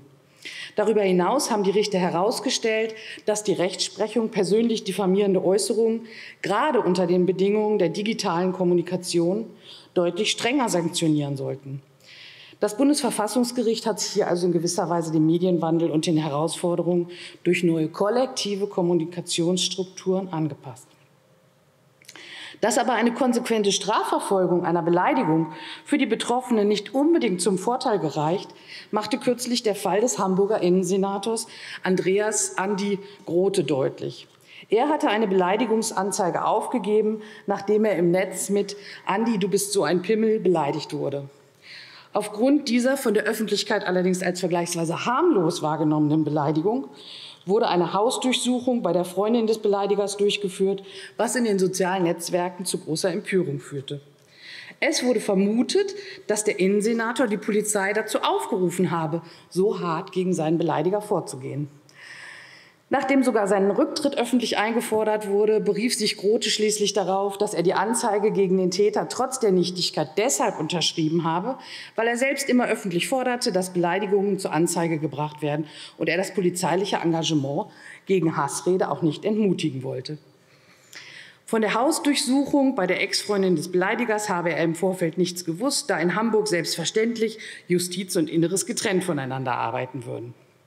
Also Grotes Darstellung einer super effektiven Polizeiarbeit ist dabei erst gerade kürzlich wieder zweifelhaft geworden, als ähm, Sie haben das wahrscheinlich mitbekommen, die Sendung von Jan Böhmermann ähm, gezeigt hat, dass die Polizei Hamburg äh, keine der zur Anzeige gebrachten Hassreden nachverfolgt hat. Aber das nur am Rande. Ähm, bei diesen beiden aktuellen Fällen, also Künast und Grote, finden sich viele strukturelle Probleme, die durchaus historische Kontinuitäten aufweisen. Polizei und Justiz können vieles falsch machen in der Behandlung von Beleidigungen. Überzogenes, strenges Vorgehen bei vermeintlich nichtigen Herabwürdigungen wird und wurde ebenso öffentlich kritisiert wie zu nachlässige Behandlung massiver persönlicher Schmähungen wie im Falle Künast. Hinzu kommt bei beiden beschriebenen Fällen auch noch eine zu, zugrunde liegende zutiefst gegenderte Durchdringung der öffentlichen Wahrnehmung. Die jeweils zugrunde liegenden Schmähungen verbunden mit abwertenden Beleidigungen der primären Geschlechtsmerkmale sind hier zu nennen, also auch im Falle Künast wissen Sie das, ähm, sowie die öffentliche Empörung, die bei aller angemessenen Differenzierung ähm, dem Mann nahelegt, er möge sich bitte nicht so anstellen, genauso wie der Frau in der Öffentlichkeit doch mehrheitlich eine, höhere Schutzwürdigkeit attestiert wird, wenngleich diese Fälle natürlich nur sehr bedingt vergleichbar sind. Dass die Anschlusskommunikation darüber entscheidet, wie eine Beleidigung aufgenommen wird, ist eben eine wesentliche Grundannahme der Invektivitätsforschung. Und das kann ich jetzt hier abkürzen. Das ist gestern schon erläutert worden, dass ähm, äh, das Publikum darüber entscheidet, welche Dynamik Beleidigungen entwickeln und eben nicht nur der Beleidiger oder die Beleidigerin oder der Adressat. Vor diesem Hintergrund möchte ich danach schauen, wie Schmähkampagnen in der Weimarer Republik verliefen. Wo finden wir vergleichbare Entwicklungen? Wo lagen die, lagen die Dinge ganz anders? Auch in den 1920er Jahren machte sich ein Medienwandel bemerkbar. Da haben wir gestern auch schon drüber gesprochen, über die fragmentarisierten Öffentlichkeiten. Der Medienwandel war nicht ganz so dramatisch wie der, den wir jetzt gerade erleben. Aber auch hier war die Durchsetzung einer milieu- und parteiorientierten äh, äh, Medienszene, also Tageszeitungen und, Tages- äh, und, und Wochenzeitschriften, äh, als Massenpresse noch eine verhältnismäßig neue Entwicklung, vor allem eben in der Form der illustrierten Presse. Die jüngere Kunstgeschichte hat dabei deutlich gemacht, dass auch Bilder Handlungsmacht besitzen, dass sie ein Eigenleben entwickeln. Sie sind Aktanten. Ordnet man diese Überlegungen hier ein, entwickelt sich das Eigenleben der Bilder durch ihre Verbindung mit der Sprache in, der neuen, in den neuen illustrierten Massenmedien der 1920er Jahre. Also das Beispiel kennen Sie wahrscheinlich alle. Ähm, da sieht man eben ganz ein schönes Beispiel, um zu sehen, wie dieses Eigenleben der Bilder funktioniert. Also Friedrich Ebert, der als frisch gewählter Reichspräsident der Öffentlichkeit in Badehose mit einem Schnappschuss präsentiert wurde und ähm, das Bild ist dann in unzähligen Varianten wieder zitiert worden und ähm, ist immer weiter verwendet worden, auch um das Staatsoberhaupt herabzusetzen oder vor allem um das Staatsoberhaupt herabzusetzen.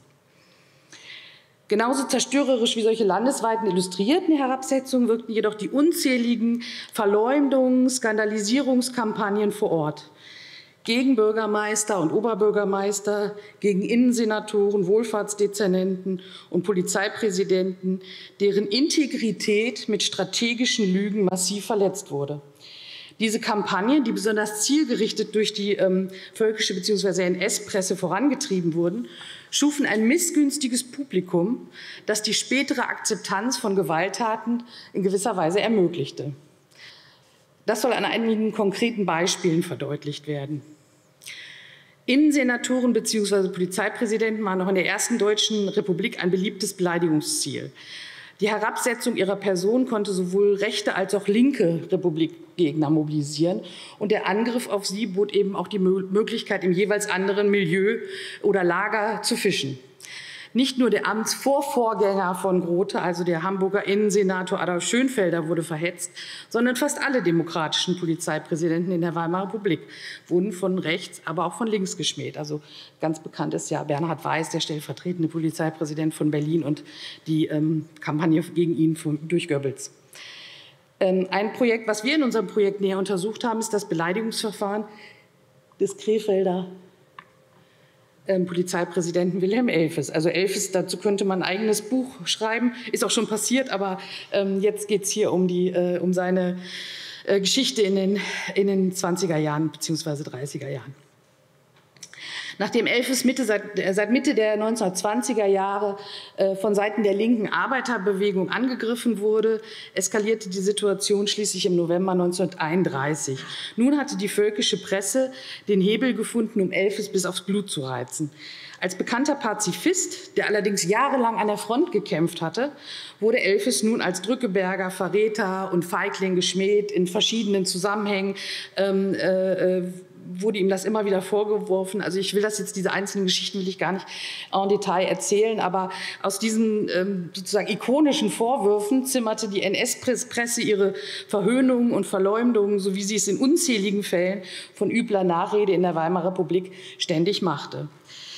Diese Fälle wurden dann auch von der übrigen Lokalpresse mit großem Engagement verfolgt und so wurden auch diese Beleidigungen ständig wiederholt und ähm, äh, blieben sozusagen hängen. Also ähm, es war auch so, dass ähm, man sagt immer, dass die NS-Presse oder die völkische Presse eine geringe Auflagenzahl in der Weimarer Republik hatte.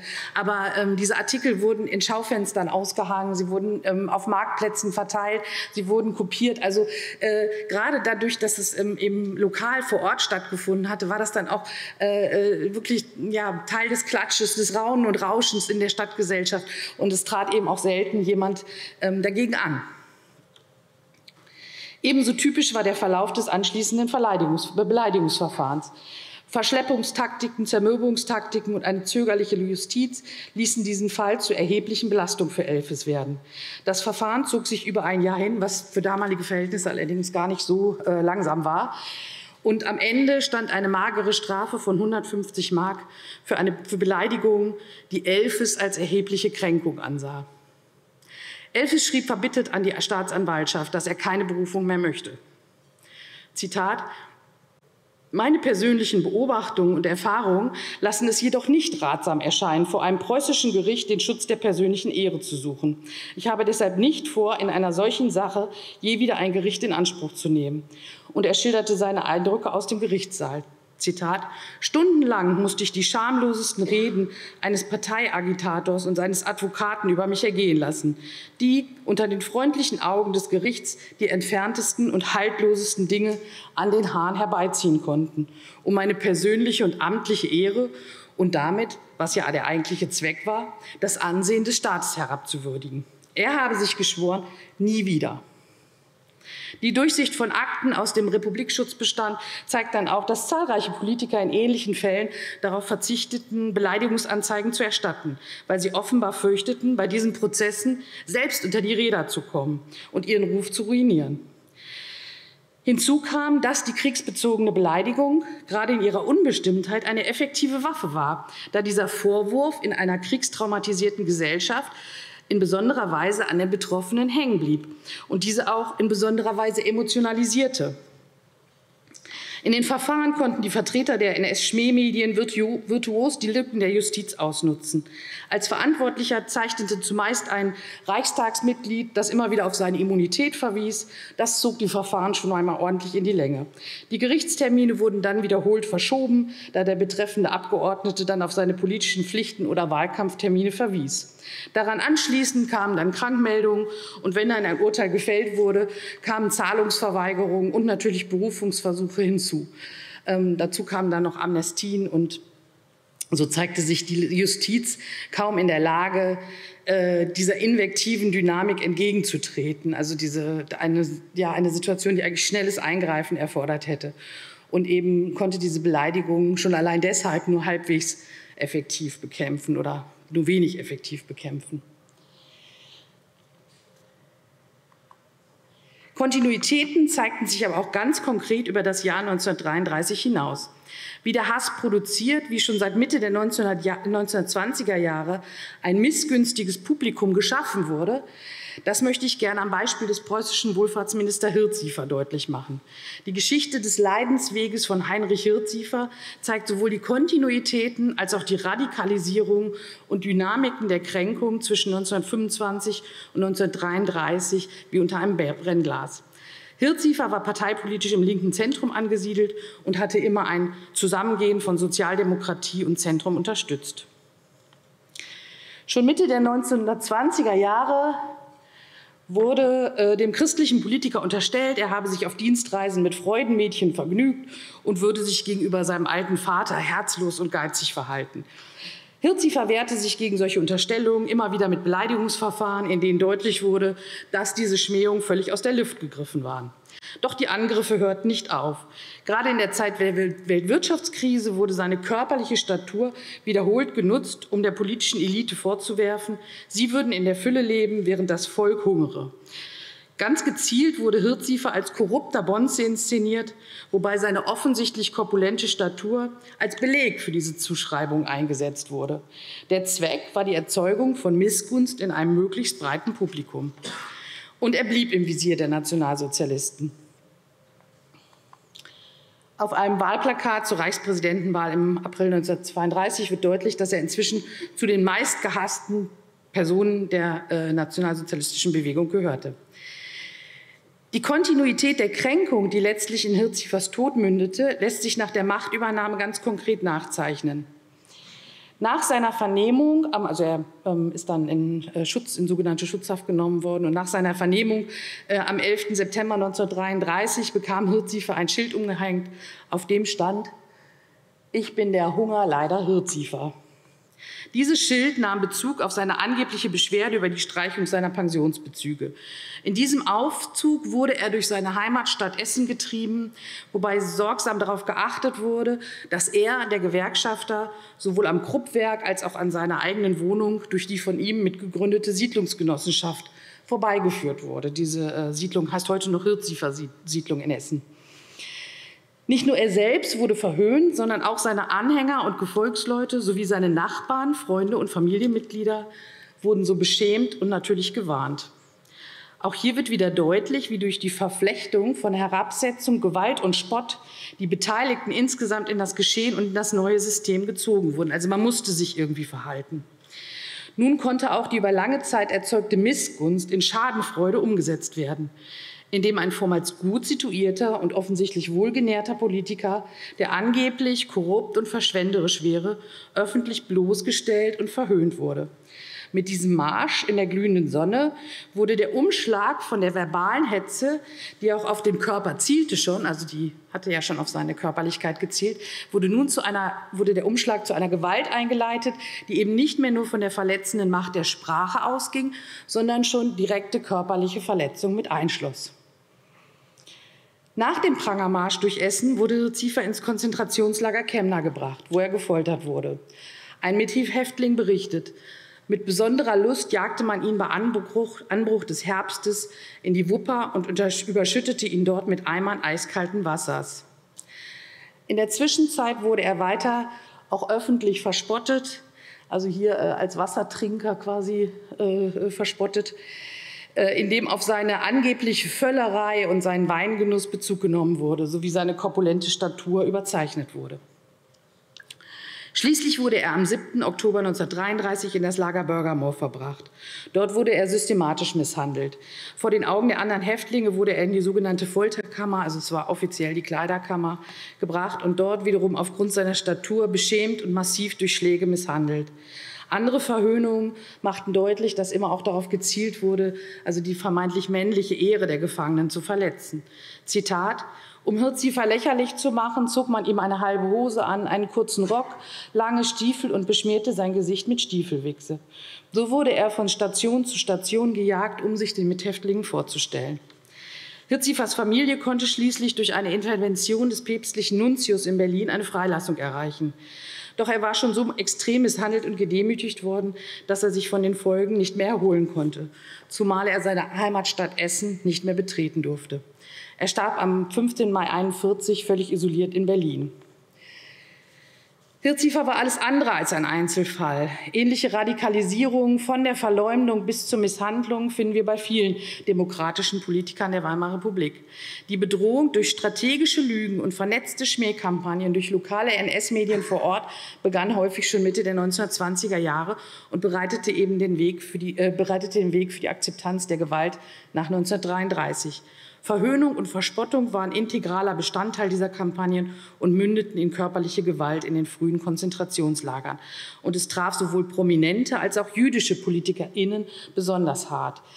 Gewalt und Gelächter, wie Martina Kessel es gefasst hat, standen in einer engen invektiven Wechselwirkung. Ja, standen in einer engen invektiven Wechselwirkung. Da wir hier im Hessischen Landtag tagen und insofern nicht nur die Wissenschaft, sondern auch die Politik selbst ansprechen, möchte ich gerne die Gelegenheit nutzen, um auch ein paar ganz konkrete Überlegungen anzustellen, die sich aus der historischen Perspektive ergeben können. Wie am Beispiel des Krefelder Polizeipräsidenten Elfs gezeigt werden konnte, kann ein Angriff auf Träger der staatlichen Macht sehr effektiv über Themen gelingen, die Gesellschaften grundsätzlich polarisieren. Das war in der Weimarer Republik ganz eindeutig der Erste Weltkrieg und sein Ausgang. Also diese kriegsbezogenen Beleidigungen finden wir in den Beleidigungsverfahren zuhauf. Ähm, ein solch grundsätzliches Thema sehe ich für die aktuelle Situation nicht, aber wir haben aktuelle sensible Themen, die in schneller Folge wechseln, also von den Geflüchteten über Corona und aktuell eben der Ukraine-Krieg. Und die werden ebenfalls dazu benutzt, um gezielt zu desavouieren, bloßzustellen und die entsprechenden Milieus anzusprechen. Ähnliche Strukturen finden sich auch beim deutlichen Körperbezug der Invektiven. Eine Verhetzung, die aktuell vorwiegend, allerdings keineswegs ausschließlich Frauen betrifft. Also wer sich noch an die Sixt-Werbung erinnern kann, äh, von, wo Angela Merkels Frisur äh, benutzt wurde, oder eben Ricarda Lang, die ähm, eigentlich eine Regenbogenfahne schwenkt und wo eben die McDonalds-Fahne dann eingefügt wurde. Und natürlich das jüngste Beispiel der Stöckelschuhministerin, in Anführungszeichen. Ähm, Schmähungen und Beleidigungen können Gesellschaften angreifen, wenn sie drei Bedingungen erfüllen. Wenn sie strategisch eingesetzt werden, wenn sie auf populistischer Lüge beruhen und wenn sie gezielt, lokal und gleichzeitig vernetzt eingesetzt werden. Ähm, gerade auf lokaler Ebene wirkt die Schmähung besonders effektiv. Also ich bin mir nicht ganz sicher, inwieweit die Ubiquität der sozialen Medien heute diese lokale Ebene quasi ersetzt. Also ähm, da müsste man vielleicht noch mal ein bisschen drüber nachdenken oder können wir vielleicht in der Diskussion dann noch mal drauf einsteigen. Ein weiteres Problem, das bei der Lektüre der Selbstzeugnisse Weimarer Politiker deutlich wird, ist, dass nicht nur die Beleidigten selbst, sondern ihre Familien ebenfalls sehr betroffen waren. In einer neuen Abwägung zwischen freier Meinungsäußerung und Beleidigung müssen wir möglicherweise stärker berücksichtigen, dass es dabei eben nicht nur um eine Kritik an den Mächtigen geht, sondern auch konkrete Körper von Menschen betrifft, deren Unversehrtheit auch durch Hassrede zur Disposition gestellt wird.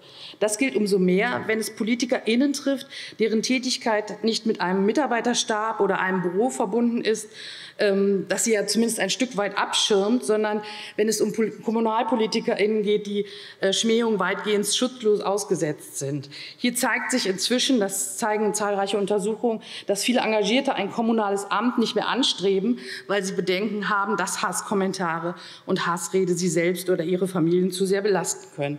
Insofern reichen die Schmähungen sehr viel weiter als nur bis zu einem konkreten Amtsträger. Also da sind allerdings hier in Hessen sind die Kommunalverbände vergleichsweise weit in der Aufarbeitung und auch in der Bekämpfung dieser äh, Schmähkampagnen. Es kann also in der Bekämpfung von Hassrede nicht nur um juristische Sanktionen gehen, sondern ergänzend müssen Schutzkonzepte entwickelt werden, die bestenfalls aus der Zivilgesellschaft selbst heraus wirken. Es sollte aus diesen konkreten Maßnahmen deutlich werden, dass Hassrede uns alle trifft und ähm, dass den Bürgerinnen die körperliche und physische Unversehrtheit unserer Repräsentanten wichtig ist und dass wir uns in einem symbolischen Sinne auch vor sie stellen. Vielen Dank.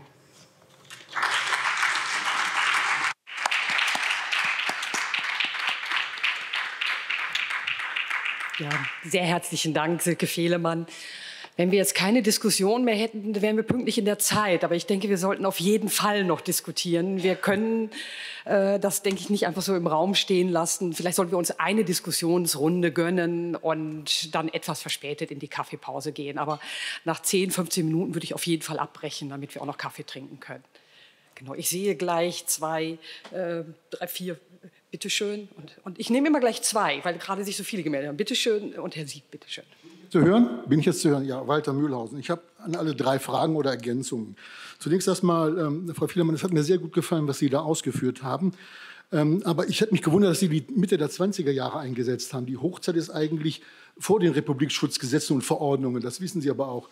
Und die Begrenzung, dass es nur die Republikgegner gewesen seien, ist mir ein bisschen zu wenig. Denken Sie an Robert Leinert in Hannover, Philipp Scheidemann in Kassel, die ja dann auch aus der Mitte der, der Gesellschaft heraus dann aus diesem Amt getragen wurden oder rausbuxiert wurden. Das möchte ich ganz gern angemerkt haben. Äh, zum zweiten Vortrag. Ja, das ist alles gefühlt. Das ist richtig. Aber es ist nicht nur ein Gefühl, was in Weimar ist, sondern die haben auch immer wieder konkrete Anlässe. Ich nenne den Namen Barmat, ich nenne den Sklatz, ich nenne es Klarek und so weiter. Sie wissen das ja auch alles.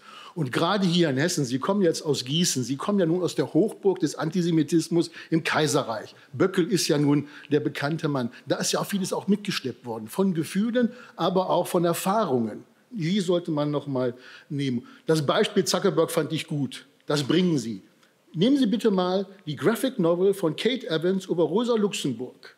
Schauen Sie sich Rosa Luxemburg an, wie die gemalt ist. Dass da kein Aufstand, worum entstanden ist, mir klar. Geht ja um Rosa Luxemburg. Ja, das will ich noch anmerken. Also dieses Bild hätte ich so auch nicht veröffentlicht draußen auf dieser Graphic Novel. Ja, und dann noch ein letztes zum ersten Vortrag. Ähm, zwei Bemerkungen. Erstens, ähm, Sie haben ganz ausführlich äh, den Mord an Rosa Luxemburg und Karl Liebknecht geschildert, aufgrund der Erkenntnisse von Klaus Gietinger, die auf den Erinnerungen von Waldemar Papst beruhen, der ja in den 60er Jahren diese Erinnerungen verkaufen wollte, deswegen auch das Spiegel-Interview und schließlich hat Noske mich beauftragt. Und all dieses wissen wir ja auch. Und die Erinnerungen kann man ja gut nachlesen im Geheimen Staatsarchiv Preußischer Kulturbesitz. Dann haben Sie gesagt, das war ein Urteil von Freunden vom Papst gewesen. Nein, das war ein Militärgericht Militärgericht. Und dieses Militärgerichtsurteil ist im Oktober 1919 von der Reichsregierung bestätigt worden. Es gab zwei Leute in dieser nicht protokollierten Sitzung, die gesagt haben, wir müssen das aufrollen, das war Mord. Aber dann hat sich die Mehrheit vor allen Dingen aus dem Zentrum durchgesetzt, dann lassen wir das Ganze mal ruhen. Also vorsichtig mit solchen äh, Dingen. Und was Sie dann noch gesagt haben, eine Mitläuferfabrik nach 1945. Wir sind hier in Hessen. In Hessen war diese Mitläuferfabrik nicht sehr ausgebreitet. Schauen Sie sich das Oberlandesgericht hier in Frankfurt an oder das Landgericht in Darmstadt. Das waren nicht alte Nazis, die dahin gekommen sind. Und äh, da muss man noch mal genauer hinschauen. Und wenn Sie sagen, die, die Täter sind, nach, äh, sind nicht genügend verfolgt worden, also Sie kennen das ja auch, was mit Schulz und mit Tillesen passiert ist, die ja dann aufgrund der französischen Intervention dann doch vor ein Gericht gestellt worden sind. Sie sind beide verurteilt worden, 1949, 50 mit 15 und 12 Jahren. Gut, sie sind begnadigt worden gleich wieder. Aber die, man hat sie doch erwischt. Und in der Weimarer Republik, und deswegen die zweite Hälfte 20er Jahre, das Attentat auf Stadelmann, das ja nun auch jetzt 100 Jahre ist, die beiden Attentäter Hustert und Ölschläger sind zu zwölf Jahren verurteilt worden. Das war für ein fehlgeschlagenes Attentat nun schon eine ganze Menge. Sind auch begnadigt worden, aber nachdem Scheidemann dem zugestimmt hat. Also man sollte noch mal genauer hinschauen, wenn man diese Thesen weiter verbreitet und vor allen Dingen auch nach 45, die Leute sind wirklich auch dann nach 45 auch aufgrund der Intervention der Amerikaner und der französischen äh, Besatzungsmacht dann auch vor Gericht gestellt worden. Das sollte man noch zumindest erwähnen. Genau. Wir wollen jetzt erst noch die, vielen Dank, erst noch die zweite Frage hören. Ja, ja äh, äh, Kommentierung des Kommentars. äh, der hessische Bauernkönig, das war Marburg der mit acht Pferden in, in die Dörfer fuhr. Und äh, Politik ist immer beteiligt. Äh, in Marburg äh, war das Rathaus zwölf Jahre lang mit einem Otto-Böckel-Zimmer versehen, wo all die Archivalien aufbewahrt wurden, damit man endlich eine heiligen Legende des ersten SA-Mann der Bewegung schreibt. Und wenn heute die jüdische Gemeinde äh, ihre Erinnerung präsentiert, zeigt, zeigt sich, wie stark sich die staatliche Politik äh, in diesem Punkt geändert hat. Äh, ein ganz wichtiger systematischer Punkt. Man ist natürlich bei, beim Antisemitismus immer in Phantasmogien, aber die Realgeschichte prägt die Welt. Ansonsten ist irgendwann all das, was Berding und Rürup und andere geschrieben haben, nichtig. Denn man wird in jedem Jahrzehnt der deutschen Geschichte Quellen fanatischen Judenhasses aufweisen können.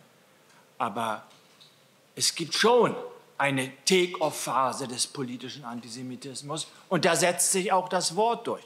Und wie, mir, wie man Realgeschichte äh, und Hassgeschichte verrechnet, ist ein, eine kolossal schwere Aufgabe, und ich glaube, man sollte sie sich nicht leichter machen, indem man von der Realgeschichte einiges wegnimmt. Denn es gibt ja sehr gute, handfeste Gründe, warum etwa der Antisemitismus 1919 so explosionsartig wirkt äh, und warum er nach, 19, nach Herbst 1929 eine andere Dimension gewinnt. Und ich denke, das sollten wir immer vor Augen haben. Genau, dann geben wir doch jetzt den Referentinnen das Wort. Wer möchte beginnen? Die Fragen waren ja und Kommentare waren an euch drei gerichtet.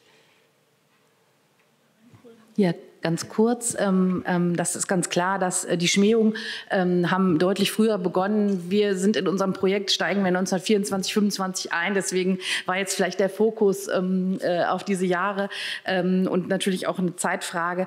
Die Schmähungen richteten sich ja nicht eben nicht gegen die Republikgegner, sondern gegen die Republik Treuen. Also ich weiß nicht, das war jetzt, glaube ich, ein Missverständnis.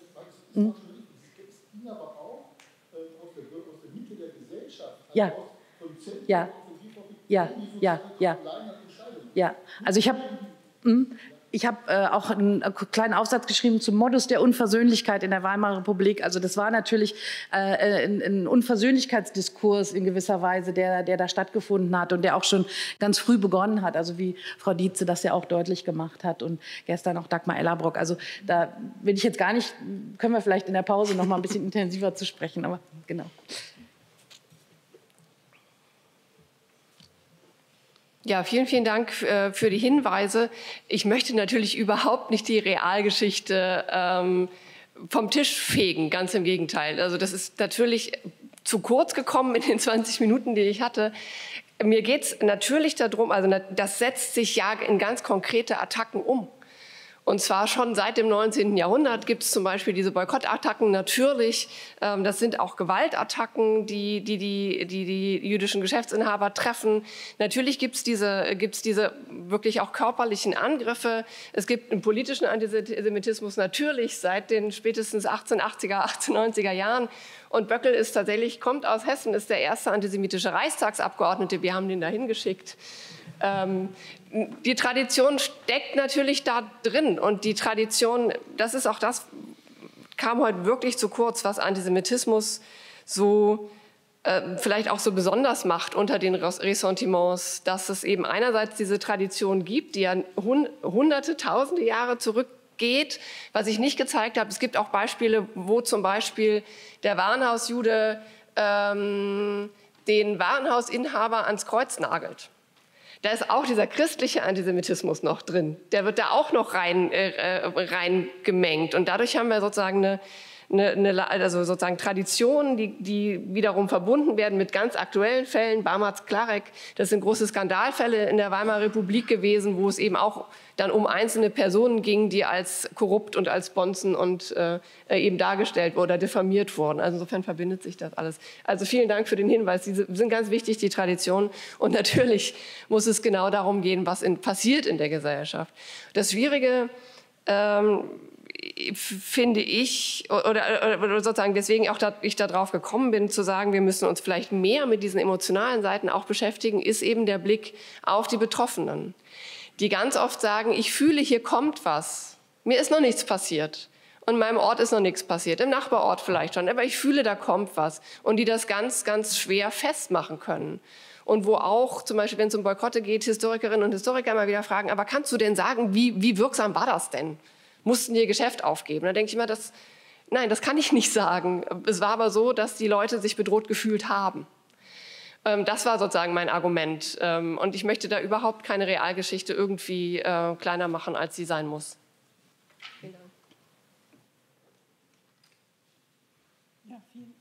Kann man mich hören? Ja, okay. Ähm, vielen Dank für äh, die Anmerkung. Ganz kurz, also die, die, die, Quellenbasis sind nicht nur die Memoiren Papst, das ist eine breite Quellenbasis. Ähm, richtig, das war ein Militärgericht, aber tatsächlich mit Freunden von Papst besetzt, also Canaris und Pflughartung. Ähm, von daher äh, stimmt die Aussage, glaube ich, schon. Ähm, Niethammer ist richtig, hat eben Mitläuferfabrik für Bayern untersucht, aber ich habe, äh, und Hessen stand in einigem vielleicht richtig ähm, besser da, aber äh, ich habe äh, versucht, nicht nur für Hessen zu sprechen. Düsseldorf wäre auch wieder Nordrhein-Westfalen.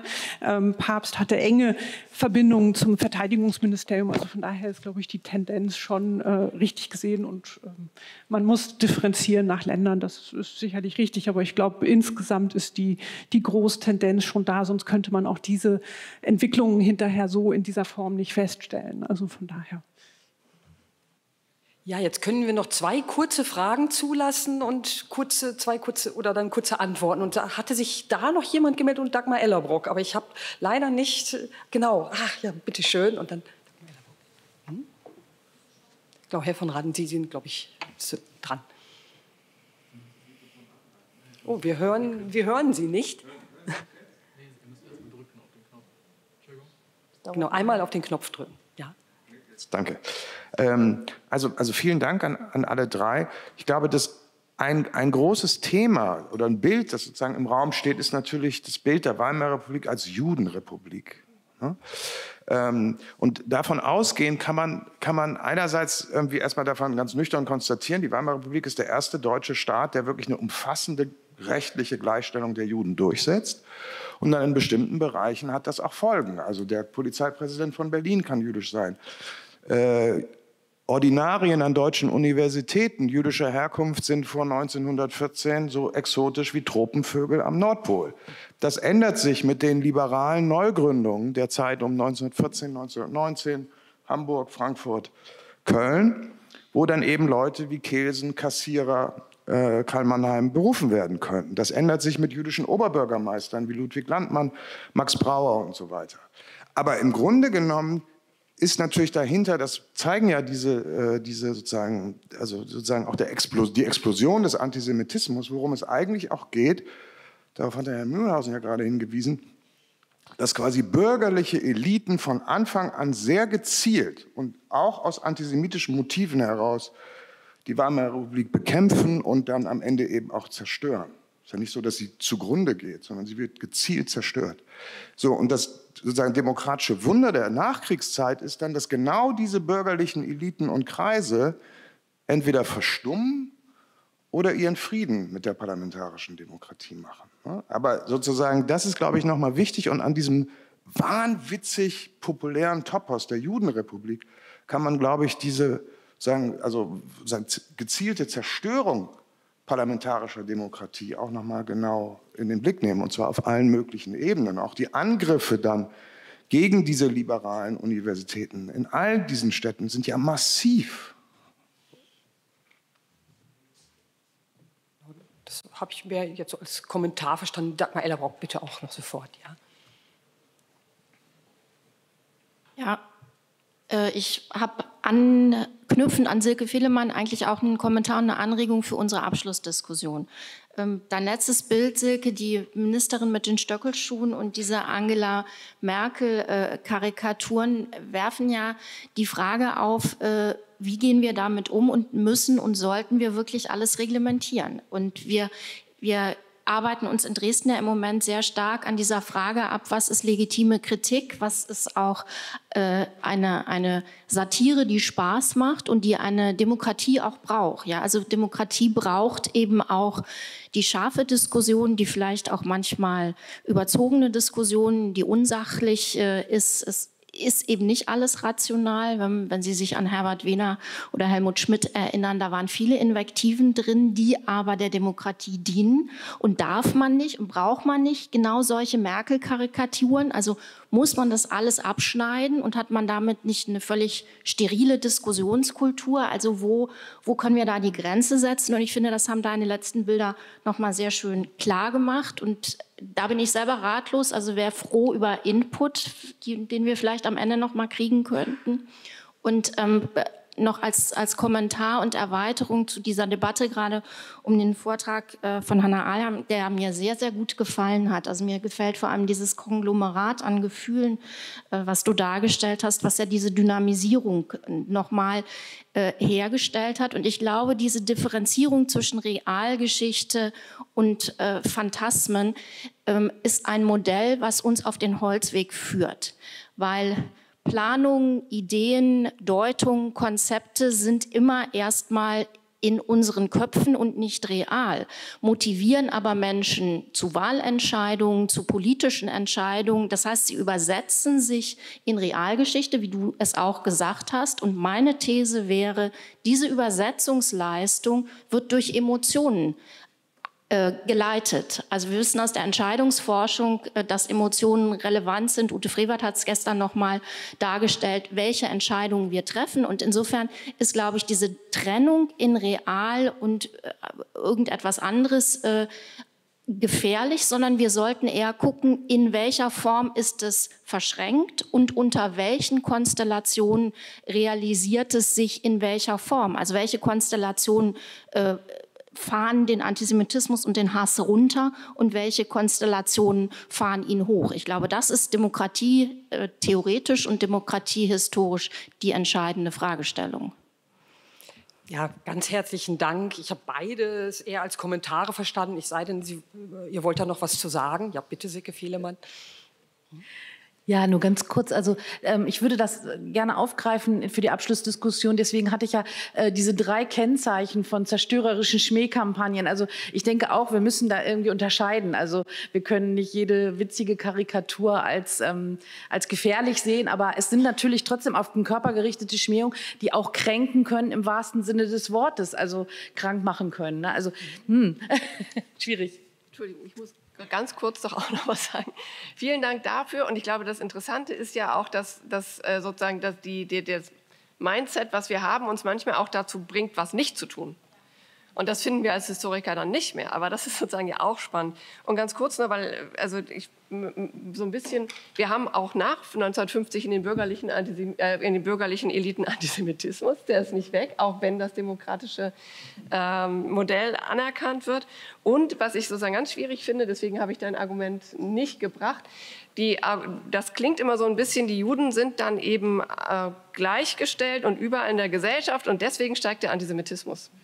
Und das ist so ein Kurzschluss, den möchte ich nie, nie, nie machen. Da sind so viele Zwischenschritte und dieser direkte Schritt Emanzipation der Juden führt zu Antisemitismus. Da möchte ich sozusagen gegenhalten. Und deswegen, ähm, aber du hast natürlich vollkommen recht, es ist die Hochzeit der Integration, ähm, wo Juden ganz viel werden können, was sie vorher nicht werden konnten. Aber ich möchte sozusagen diesen Kurzschluss nicht machen. Vielen Dank. Ja, meine Damen und Herren, damit nochmal ein ganz herzliches Dankeschön an unsere Referentinnen und natürlich auch an die Diskutanten. Ich schaue so auf die Uhr. Wir haben jetzt eine gewisse Zeitschuld eingefahren, um jetzt die nachfolgenden Sektionen nicht allzu sehr zu belasten. Ich sage, wir machen jetzt eine Viertelstunde Kaffeepause. Um fünf nach zehn treffen wir uns alle wieder hier im, im Plenarsaal und jetzt ja, können wir weiter diskutieren bei der Kaffeepause. Vielen Dank.